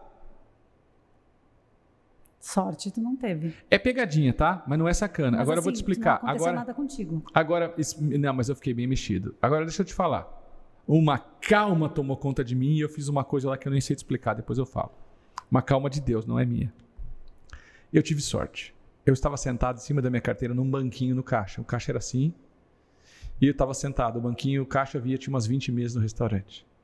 A minha carteira estava bem no meu, no meu, na minha busanfa, eu sentado em cima e tinha dois talões de cheque. Na época a gente não usava cartão de crédito. Eu tinha uns 19 anos. Dois talões de cheque. Se roubasse aquele talão de cheque, estava lascado. O que aconteceu? Lembra que eu falei que ele não levou a carteira dele? O ladrão chegou com o revólver na minha cabeça. Eu falei, calma, você pode levar tudo, não precisa ficar tranquilo, você leva aí. Eu calmei o cara. Ele viu a carteira do lado, que era a carteira do Tuco, do meu amigo. Ele achou que era minha. Ele pegou a do cara e não pediu a minha. Tu ficou ali assim, pleno. Ou seja, sinceramente, eu tive muita sorte. Porque não me roubaram nada. Mas não, me levaram o relógio. Eu tinha um relógio bem bom. Nunca mais tive relógio na vida. Era um relógio muito bom, bonito. Era o relógio mais lindo que eu tive na vida. Citizen, era aquela marca, era bonito, tal. O relógio mais lindo que eu tive na vida. Mas aquilo doeu. Mas eu tive tanta sorte de não levar a carteira, os documentos e os dois talões de cheque, que dava um trabalho sustar cheque e tal. Uhum. Então, naquele momento, eu falo, eu tive as altas sorte. Eu tive sorte. Teve sorte? Tive muita sorte, muita sorte. Até hoje eu acho que tenho sorte. E ele teve sorte? Teve, porque ele era esquentado e eles estavam começando um negócio, estava apertado, não tinha grana, os caras roubaram ele. Ele ia reagir. Então até hoje eu agradeço aquele dia. Eu tive sorte porque não roubaram minha carteira, mas roubaram meu relógio. E ele teve sorte que não era ele que estava lá. Então, sorte é magnetismo conquistado. O que que isso quer dizer? Essa história que eu contei é só para a gente entrar num dilema filosófico, né? Mas a verdade é que sorte é um conjunto do que você pensa e sente. Porque as coisas que a gente vai trazendo, traindo para a nossa vida têm a ver com a nossa frequência. Quando eu ligo no rádio, na rádio 88.3, e ali é uma rádio de rock, eu vou escutar rock. Eu vou dançar música de rock. Eu vou me comportar como rock, porque eu vou entrar naquela frequência. Se eu liguei na rádio 102.7, que toca a sofrência ou sertanejo, mesma coisa. Nós estamos o tempo inteiro ligados a um pensamento governante, como dizia Nightingale. Esse pensamento governante é o que você pensa e sente na, em prioridade. Quase sempre a gente não percebe, mas de forma prioritária é o que a gente mais pensa e sente. E a vida costuma trazer mais do mesmo. E você costuma a se conectar com aquilo que você pensa e sente. Logo, que você pensa e sente determina o seu magnetismo e determina a sua sorte. Então, sorte é magnetismo conquistado, quer dizer que todo mundo que inverter a forma de pensar energia elétrica, sentir energia magnética, energia eletromagnética, imã, isso é real, isso é científico. Imã atrai ou expulsa. Dependendo da polaridade, expulsa, dependendo da polaridade, atrai, certo? Então a sorte pode ser construída a partir do momento que você cria pensamentos e sentimentos adequados àquilo que você quer atrair ou aquilo que você quer expulsar. Às vezes a gente está expulsando o bem e o amor, às vezes a gente está expulsando o mal. Então, quando você tem metas, você é para raio de coisa ruim porque você está conectado com o que você quer. Então você criou a sua sorte. As pessoas que têm meta criam sorte. Mas não adianta você só criar meta e não fazer nada. Mas se conectar gera sorte. Então, sorte é magnetismo conquistado é faz a sua sorte como? Cuida do que você pensa e sente. Tenha pensamentos adequados. Limpa o seu inconsciente. Porque às vezes eu acordava de manhã e não queria acreditar na escassez. Eu não queria acreditar, eu não vou conseguir, nunca vão pagar o valor da minha consulta para mim. Ah, eu nunca vou conseguir vender uma, uma terapia. Ah, e nunca ninguém vai querer comprar um curso online meu. Ah, ninguém nunca vou dar, nunca vai dar certo um livro meu. Todo mundo tem esses pensamentos de escassez e de medo. Sim. Lembra aquilo que nós falamos? Medos revelam pistas da sua missão de vida. Você lembra disso? Então, aquilo que você tem medo, você vai lá, por que, que eu tenho medo? O que, que esse medo traz para mim? Da onde veio esse medo? Entendeu? enfrentar esse medo, Isso. vou- Então, a sorte é magnetismo conquistado. O que, que é? Sorte é resultante do que eu penso e sinto. Se eu pensar e sentir adequadamente, eu vou mudando o meu magnetismo e eu vou mudando a minha sorte. Você viu que tem um ser humano trabalhando atrás da Então nossa vai, TV? vai ligar uma Netflix. Você vai Elcio. conseguir aí, Gabi? Você vai, né? É só aquela última fotinho lá que a gente. Não, vamos lá, mas a gente vai continuando aqui. Enquanto isso, você pode me meter em confusão aí. Né? Vamos em frente, tá? O capricho é o pai da prosperidade. Capricho é o pai da prosperidade. Veja, o capricho surgiu o seguinte: um dos trabalhos que eu faço muito é ajudar terapeutas, profissionais de desenvolvimento pessoal e até de outros segmentos a dar certo no digital. Nós estamos no digital fazendo lançamento de produto, criando produtos. Olha aí, meu Deus do céu. É, já... Apareceu uma criança já aqui. Já apareceu ó. uma. EMEI, professor Eunice dos Santos. Esse aqui é, esse aqui é Pirituba, hein? Esse aqui é, é Pirituba. aquela escola lá? É, não, essa é uma das escolas que eu estudei. estudei não é aquela que tu falou, né? Não, qual? Que entrava de um jeito? Não, não, essa daí foi em Salto no interior, ah. essa aqui é na capital. Você quer comentar ou continuo falando o que estava falando? É, termina o capricho e depois a gente. Então, o capricho ao pai da prosperidade é que treinando pessoas para dar certo, treinando pessoas para palestrar. Hoje eu treino muitas pessoas para ser mentores também. Eu chamo de mentores da luz, né? Uhum. Que é duplo sentido, porque eu sou da empresa Luz da Serra e porque eu acho que mentor de verdade ele leva a luz para as pessoas. O mentor de tributação, de imposto, ele leva luz para a pessoa que não entende nada. Luz é consciência. Então eu acredito que mentor da luz, é, tudo bem?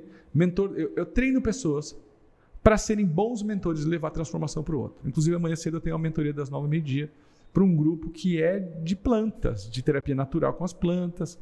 Dá para você fazer isso em várias áreas.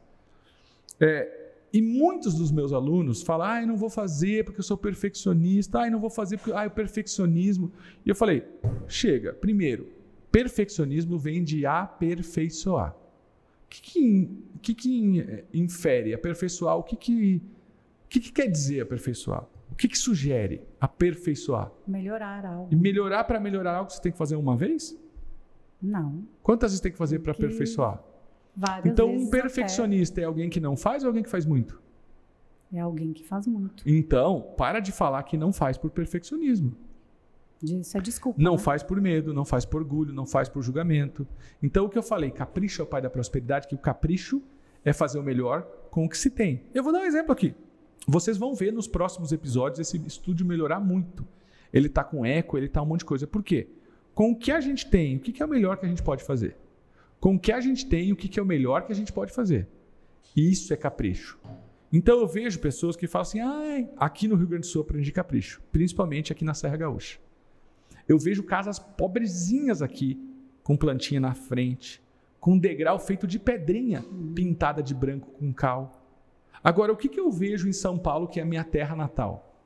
A pessoa é pobre, então tem um monte de lixo entulhado na frente da casa dela, o carro velho parado. Ah, eu sou pobre. Aí a frente da casa descascando, ah, eu sou pobre. Então vai lá e lixa tudo, tira as cascas. Passa um cal safado, passa um rastelo na terra. Isso eu vejo aqui no Rio Grande do Sul especialmente na Serra Gaúcha, não na Grande Porto Alegre. Uhum. E isso mudou muito, a Nova Petrópolis mudou muito. Eu vejo as pessoas são caprichosas, elas não têm grana nenhuma cuidando do jardim. Elas não têm grana nenhuma, elas fazem um negócio com pedrinha na frente de casa. Elas capricham. Então eu entendi que o capricho é o pai da prosperidade, porque o capricho é a intenção. O capricho é colocar o melhor do que você tem. Aí uma pessoa falou para mim: Ah, mas eu não tive dinheiro para arrumar a maçaneta da entrada da casa.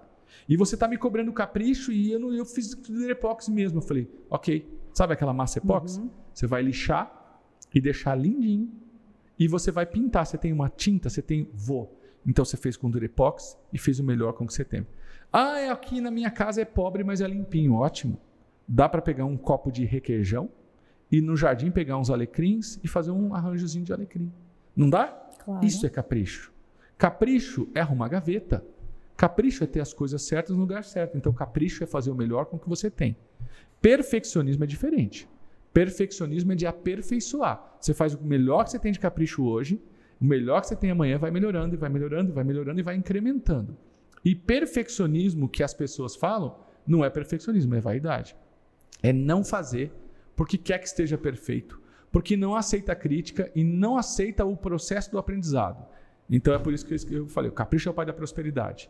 E tem uma outra coisa que não está aí, Thaís, que eu queria falar que faz tempo que eu não digo, que é a expectativa positiva é a semente da prosperidade. Esperar o positivo, esperar o bom, o belo, te coloca nesse magnetismo de sorte. Espere o bem. Toca o telefone três da manhã, o que, que você acha que é? Eu já vou esperar, que é uma coisa ruim. É, a gente tem que treinar para esperar o bem. Meu Deus, um amigo meu ganhou na loteria, está tão feliz que quer me contar.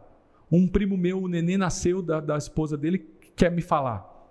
Eu sei que na maioria das vezes as programações que a gente tem fazem isso. Espere o bem.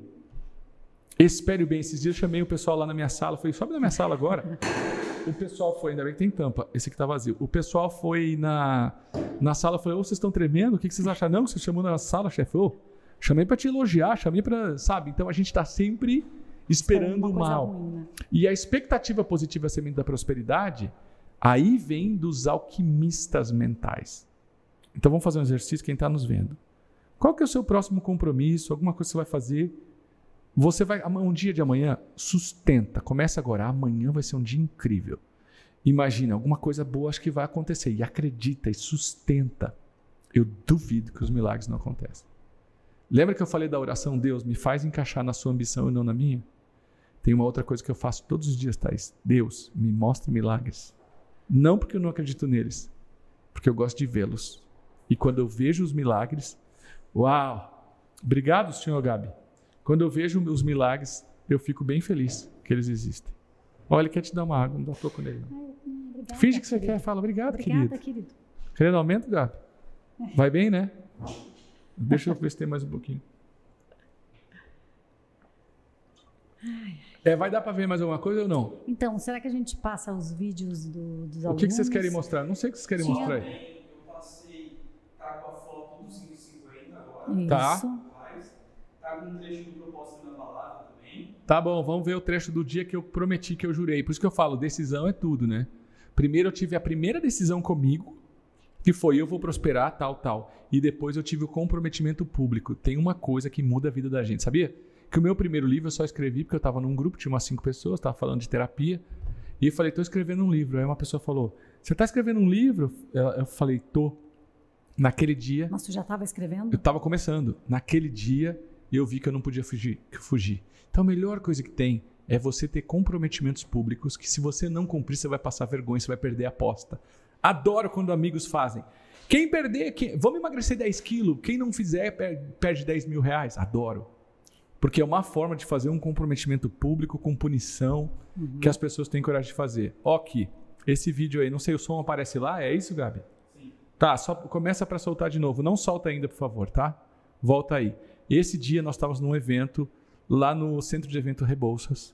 Sabe por que está preparado ali som? Teve show da Sandra de Sá no nosso evento. Foi Olha, incrível. Que legal. Ela veio do fundo de surpresa, foi incrível. E naquele dia, era o segundo dia. É o dia de revelar o propósito inabalável. É, logo depois do intervalo, a energia do evento está no pau, a gente está ali incrível, cada um faz um exercício. E depois que você trabalha dois dias para encontrar o seu propósito inabalável, que é o que o evento propõe, você encontra o propósito e você troca ideia com as pessoas. Aí eu formei duplas. Quando terminou as duplas, cada um revelou em duplas o seu propósito um para o outro. A energia veio no meu coração, eu falei, eu vou revelar meu propósito, porque eu estava com aquele chamado e eu não queria ensinar prosperidade. Porque imagina um cara que fica ensinando pensamentos prósperos, desculpa, espiritualidade, consciência, terapia natural. Começa a falar dinheiro, prosperidade, dinheiro, prosperidade, eu ia tomar muita porrada. Ah, só pensa em dinheiro, o que realmente aconteceu. Por dois, três anos eu tive que abrir um outro canal, que é esse que eu estou aqui agora, porque eu tinha feito um programa há um ano chamado Espiritualidade na Prática, fazendo vídeo todo dia, todo dia, todo dia. Só falava de espiritualidade. Quando eu começo a falar de dinheiro, as pessoas não entendem. E hoje eu entendo que eu fiz um processo de transição errado. Parei de falar de um assunto e comecei a falar de outro. E ao invés de fazer uns 20 vídeos explicando a importância, ligando e trazendo uhum. as pessoas, eu, ah, agora eu vou falar disso. Então hoje eu entendo. E ali eu comecei a tomar muita porrada. Então eu sabia que se eu fizesse esse juramento, é, imagina que você faz um trabalho a vida inteira numa área e depois você faz numa outra. É óbvio que as pessoas iam estranhar. E eu não continuei fazendo espiritualidade na prática. Eu parei e fui fazer prosperidade na prática. Então eu sabia que ia ser difícil. Porque hoje eu estou mais preparado e o mundo está mais preparado. Mas as crenças limitantes, Thaís, estão na cabeça das pessoas. Mas eu não desisti. Graças a esse julgamento que eu fiz, a uma declaração pública. Solta aí, Guto.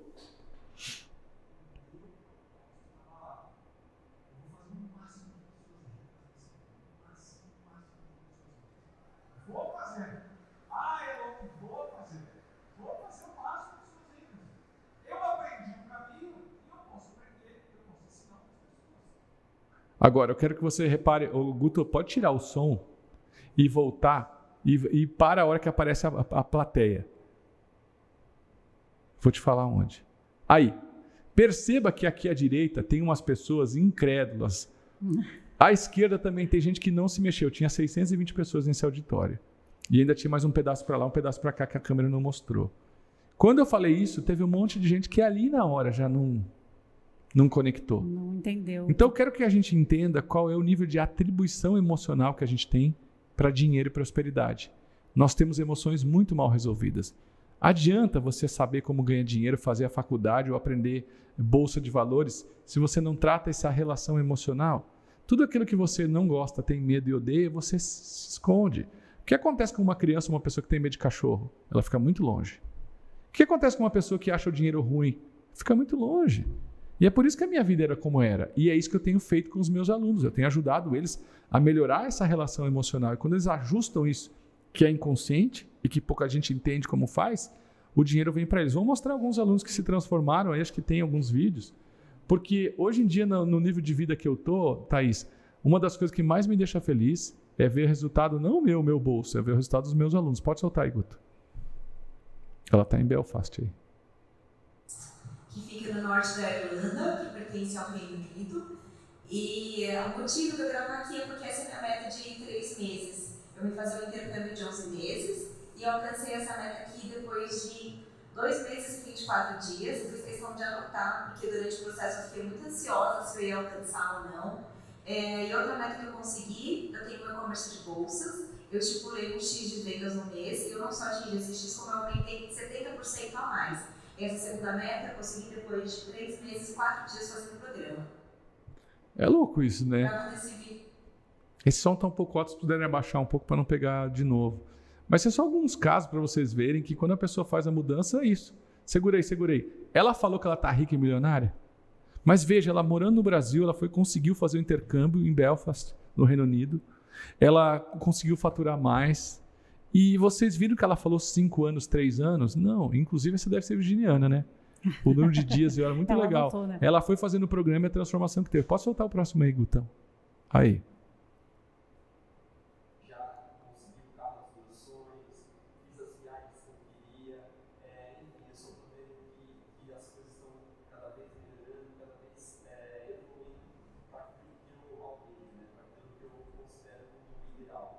Então, conseguir o carro dos meus sonhos. Para o brasileiro, trocar de carro é muito forte. Viagem é uma das coisas que você sabia que um dos maiores sonhos do brasileiro é viajar primeiro no, no, no, Brasil e depois viajar internacional. O brasileiro tem mais sonho de viajar no Brasil do que viajar fora. Olha. Um dos maiores sonhos é conhecer o Brasil. Então, esse aqui é alguns dos casos. Tem mais algum? É esse aí, né? É alguns dos casos que você separaram, fico feliz de honrar. Esses alunos são, inclusive, das primeiras turmas. E os, os resultados são impressionantes. Resultados e resultados. Agora, eu quero te explicar. Quando a gente muda a nossa prosperidade, a gente não está mudando o, bolso. Eu sempre digo: mude sua mente e mude sua conta corrente. A gente está mudando a forma como os nossos parentes olham para a gente. A gente está mudando a forma como a gente se olha no espelho. Porque tem algo que não está aí, mas é a forma como a gente ajuda com caridade. Hoje mesmo, hoje mesmo, se eu falar para você as transferências que eu fiz, porque entrou um dinheiro para mim ontem, e as transferências que eu acho que entrou dinheiro para vocês ontem também, né? Foi ontem ou hoje? É esse mesmo aí. Então, as transferências que eu posso fazer hoje, antigamente eu não podia fazer. Isso é muito massa. Isso é muito massa. Então, eu sou muito grato a Deus por poder ajudar, por poder um instrumento, e isso só aconteceu quando eu comecei a pensar diferente. Eu quero que todo mundo saiba que, sim, eu posso dizer que eu me, me considerei rico em 2013, faz 10 anos. Porém, do momento que eu decidi, que foi 2008, 2007, eu consegui em 2013, mas em 2012 eu já tinha pistas de um crescimento. Em 2011 a minha vida está melhor. Então aquilo que você está vendo é um caminho crescente, é lentamente até que de repente. E eu fiz porque eu não tinha mentores, era eu, a Paty e o mundo, a minha sócia. Mas hoje a gente aprendeu um método, um modelo que a gente ajuda mais pessoas a acelerar esse processo de prosperidade. E o que é enriquecer? Enriquecer é ano após ano, aumenta a sua grana, aumenta a sua felicidade, aumenta as suas possibilidades. Nada pode medir mais o seu nível de prosperidade do que as possibilidades que se apresentam e que você está pronto para abocanhar. Às vezes tem um monte de possibilidade na minha frente, mas não está na hora, eu não posso, eu não consigo. Agora, quando você está vendo possibilidade e você está em condição, em competência de abarcar a possibilidade é o seu máximo de prosperidade. E quando que a prosperidade estoura? Arrebenta quando você enfrenta seus medos. Não é quando você acerta o investimento, ou quando você acerta na criptomoeda. Só que isso é que o mundo quer te mostrar. Se você ficar nisso, você fica na roda dos, na roda dos ratos ali e já Não era. sai do lugar, né? É um pouco louco isso, né? E assim, Thaís, a gente vai trabalhar na Maratona da Riqueza, a gente vai trabalhar esses conceitos. Eu desafio você a assistir uma maratona com técnica prática, não é um papo como esse, é aula, para você fazer essa transformação que eu demorei oito anos, talvez você consiga em oito dias. Tem a foto do troféu? Ah, a conta do troféu. e É, só pra gente não ficar devendo nada, né? É verdade, eu também não gosto de dever nada. É. E aquele. É aquela outra.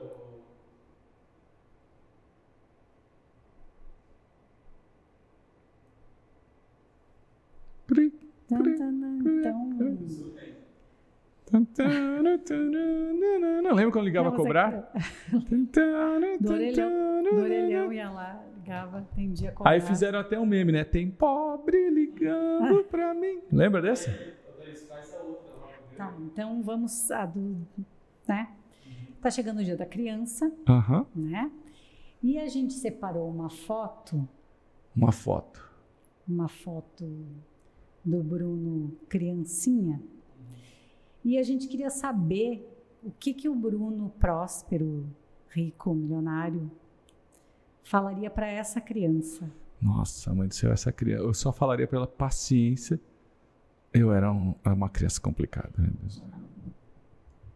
Essa criança não nem imaginava que ia chegar onde chegou, né? Não, criança não. Um pouco mais adulto, sim. Um pouco mais adolescente, sim. Essa criança era medrosa, bloqueada, chorava por tudo, brava, irritada.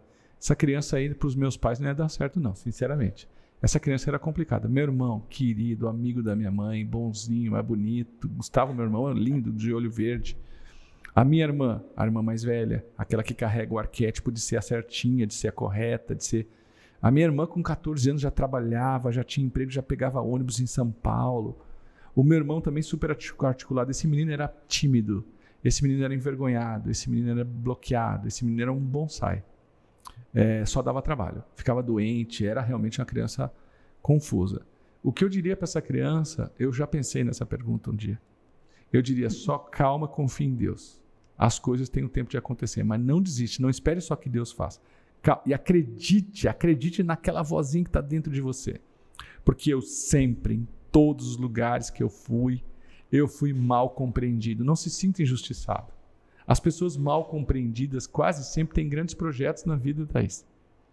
Entendeu? Então, assim, na minha adolescência, na minha maturidade, sempre eu fui mal compreendido. Então, eu só falaria para essa criança, ó, continue acreditando no que você acredita, porém, trate o seu temperamento. Então, às vezes a gente é rebelde e quer que o mundo se lasque. Então, continue acreditando no que você acredita, continue firme no seu propósito, porque é o que eu sou hoje. Mas trate seu temperamento, porque isso aí era um... Tem cara de bonzice. Pergunta pra É, minha tem mãe. cara de bombonzinho, ó. Nossa Queridinho, comportado. Sempre fui é, sempre fui sempre se- fui muito amado, sempre tive uma criança muito amada por algumas pessoas que mas essa criança sofria, odiava ir na escola, apanhava na escola. Meu Deus, pensa assim, ó, eu tenho, eu tratei muito, fui ser terapeuta para limpar, tenho muito amor por essa criança, né? Tenho muito amor porque ela fez, porque ela passou, mas era bloqueado num nível que vocês jamais imaginariam que eu me tornei. Essa criança, jamais ninguém imaginou que eu ia ser palestrante, escritor. Essa criança era um, um nojo, cara. Era uma criança enroscada. Eu vim com um monte de karma para curar e graças a Deus me tornei terapeuta. Então, eu também acho que cada pessoa que eu trato, eu estou tratando essa criança. E eu acho que a principal coisa que eu vejo, não só para essa criança, mas para aquele adulto no apartamento de gramado que não tinha coisa, eu hoje eu trabalho para curar essa criança, eu trabalho para curar aquele adulto. Em mim, eu acho que está curado, mas eu, eu trabalho para curar as crianças que estão nas, em vocês. O adulto que sofreu e achou que faliu em vocês. Isso para mim é alimento. O dia que eu esquecer dessa criança e esquecer daquele adulto chorando no meio da sala, dando soco no chão, eu esqueci da minha missão. E eu sinto hoje a minha conexão profunda com isso. É uma conexão profunda. Eu me lembro desse Bruno que eu sempre briguei muito em casa com os meus pais, com os meus irmãos. Muito, muito, muito, muito, muito. Muito brigando, muito, muito, muito. Porque era um desencaixe que eu tinha um chamado, mas fazia do jeito errado. Sabe aquela coisa da pessoa foi grosso, perdeu a razão? Até estava certo, mas não soube falar. Uhum. Era eu, sempre fui essa pessoa. Então, hoje, eu olhar para essa foto e olhar para o Bruno de Gramado de 2006, 2007, me faz eu trabalhar mais, porque eu quero curar os Brunos infância ou adulto nas pessoas. Não eu, né? Porque eu sou um instrumento, mas eu quero ver essas pessoas se conectando com a missão dela, em paz com a própria presença. Em paz com a própria presença. A maior parte das pessoas no mundo não está em paz com a própria presença, Thaís. Não está de bem com a pessoa que se tornou. E eu acho que isso é um dos maiores ganhos do ser humano. É um dos maiores, uma das maiores sinais de prosperidade. Você está de bem com a sua própria presença. Porque quando você está de bem com a sua própria presença, você não precisa que ninguém valide você. Uhum. E o época, o sentimento infernal, não gosto de usar isso, o sentimento desgraçado de trazer a desgraça, não gosto de usar essa expressão, quando a pessoa fica viciada que o outro valide ela para ela se sentir validada. Entende porque a prosperidade tem muito mais a ver com terapia, com espiritualidade, qualquer outra coisa? Prosperidade definitivamente não é aprender a ganhar dinheiro na bolsa. Prosperidade é aumentar seu valor. Você fica caro primeiro, caro de valer, valer muito, de fazer muitas coisas, de ser importante, de ser requisitado, de fazer coisas que valem. Você fica caro primeiro e você fica rico depois. As pessoas querem ter o dinheiro. Primeiro você tem que valer, depois você fica caro. Ah, mas eu vou estudar, fazer pós-graduação, PhD. Nem sempre isso vai dar jeito. Porque fazer o que todo mundo faz costuma pagar pouco. E é por isso que às vezes a pessoa fica louca. Mas eu estudei, eu fiz tudo. É, mas trabalha com algo que você não sabe explorar seu valor, não sabe explorar o seu ativo exponencial. Você vai ter uma aula da maratona só de ativo exponencial. Quem não se cadastrou, o link está aqui embaixo. Feito? Feito, era isso. Tem mais alguma? Não, tem mais coisa, Quer mas eu acho mais que alguma coisa no meu podcast? eu acho que eu acho que Isso é o ego, né? não, não é não. Isso daí é zoeirinha, eu gosto, tá? Eu gosto, tá? Eu tenho umas perguntas Vai, aqui que manda. é meio ping-pong, Vai lá, só vai pra lá. gente encerrar. Topo. Vamos tipo, lá. A maior vergonha que tu já passou. A maior vergonha foi no elevador, morava em Porto Alegre, morava sozinho. Eu acordei de manhã cedo. Essa daí é a maior vergonha até hoje. Eu acordei de manhã cedo e sempre dormindo de manhã cedo, saindo para o trabalho. Era 6h50, 7 horas. Entrei no elevador e entrou uma moça no elevador. Ela entrou com um cachorrinho pequenininho, desses tipo shih tzu, né? Uhum. E ela tava com uma roupinha que fazia um negócio assim na barriga. E tava bem protuberante. Ah, E aí ela apertou o térreo, ah, vou pro térreo, vou pro térreo. Ela falei, e aí, tá de quantos meses? Ela, não tô grávida. Eu não falei nada, não falei bom dia nem nada. Eu virei a cabeça assim pra parede do, do elevador, fiquei quieto, não dei tchau. Chegou meu lugar, eu saí não falei nada pra ela. Essa foi a maior vergonha. Eu tenho vergonha até hoje de lembrar. Então hoje, a mulher tá explodindo. Tem uma melancia, a cabeça do nenê tá saindo pra fora, eu não pergunto se ela tá grávida. Ela, ah, é porque a Rosaninha vai nascer, porque a Maria Eugênia vai nascer. É, sua filha vai nascer. É, eu tô grávida. Ah, é, tu tá grávida. Eu só não falo. Não falo, não falo, não falo. Isso me traumatizou. Isso me faz passar traumatizou vergonha. muito, né? Porque tu Nunca pergunte pra uma mulher se ela tá grávida, se ela não falar. Ela tá, pode estar explodindo, tá?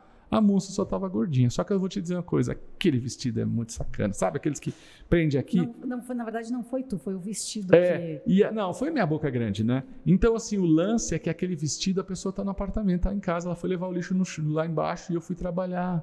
Era o vestido que ela fica, e aquele filho da mãe daquele vestido parece uma- um botijão de gás, assim, sabe?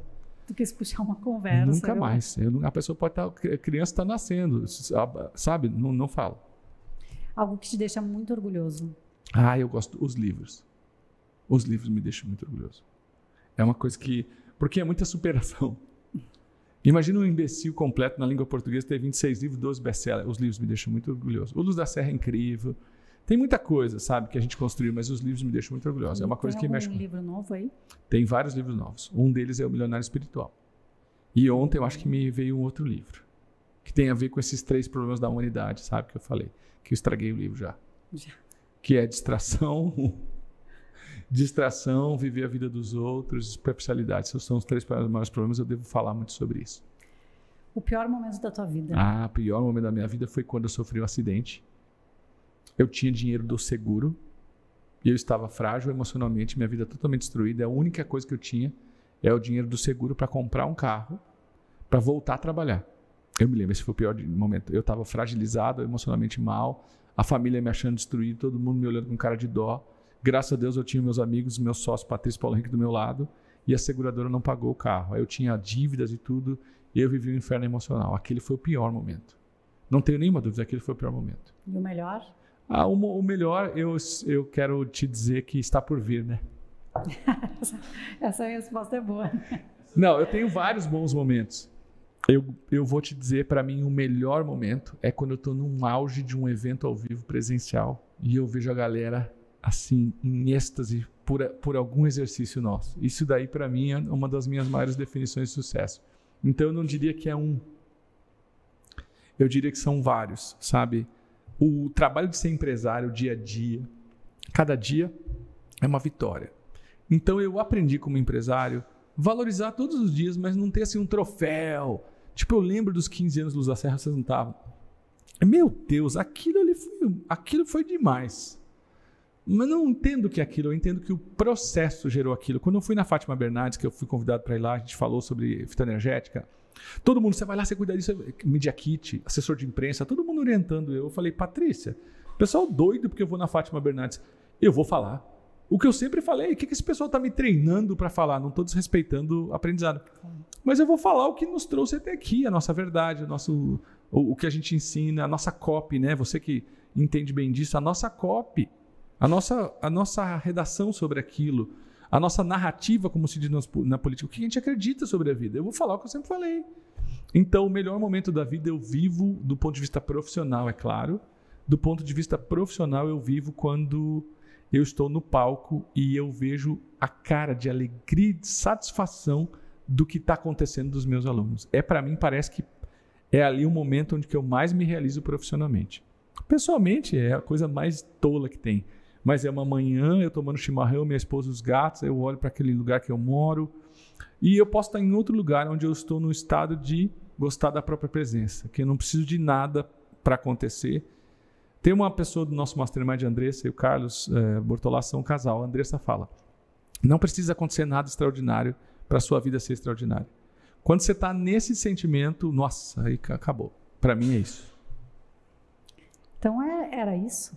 E aí, o que, que, você acha do Thaís, eh, Thaís Cast? Thaís Cast. Tá. É isso, gente. Ah, já, muito, já incorporei. Muito aqui. obrigado, você viu? Eu que agradeço. Esse foi o seu primeiro. É. Quem sabe a gente vai fazer mais. Aí, gostou, Thaís? Eu gostei. Mas... É, vai querer fazer mais vezes? Vou, vou. Viu? Foi Só bem. Me convidar. Isso aí. Veja se vocês querem a Thaís aqui de entrevistadora, comentem aí. Pessoal, muito obrigado por estarem aqui. Que Deus abençoe sua vida. Nunca deixe seu brilho morrer. Vai ser o que você nasceu para ser. Prosperidade é uma decisão, prosperidade é um tratado, prosperidade não é uma corrida de 100 metros. Não é uma coisa que você faz assim e muda na hora. É uma decisão de vida, mas é um estilo de vida que vale a pena. Porque ele enaltece ser quem nasceu para ser e não que dá para ser. Quebrar o vaso, ser hortelã, deixar de ser bonsai. Se você quer a nossa ajuda para isso, o melhor caminho nesse momento que você está vendo, não sei quando você está vendo esse podcast, espero que você não esteja atrasado, é você clicar no link que tem aqui embaixo e cadastrar na Maratona da Riqueza.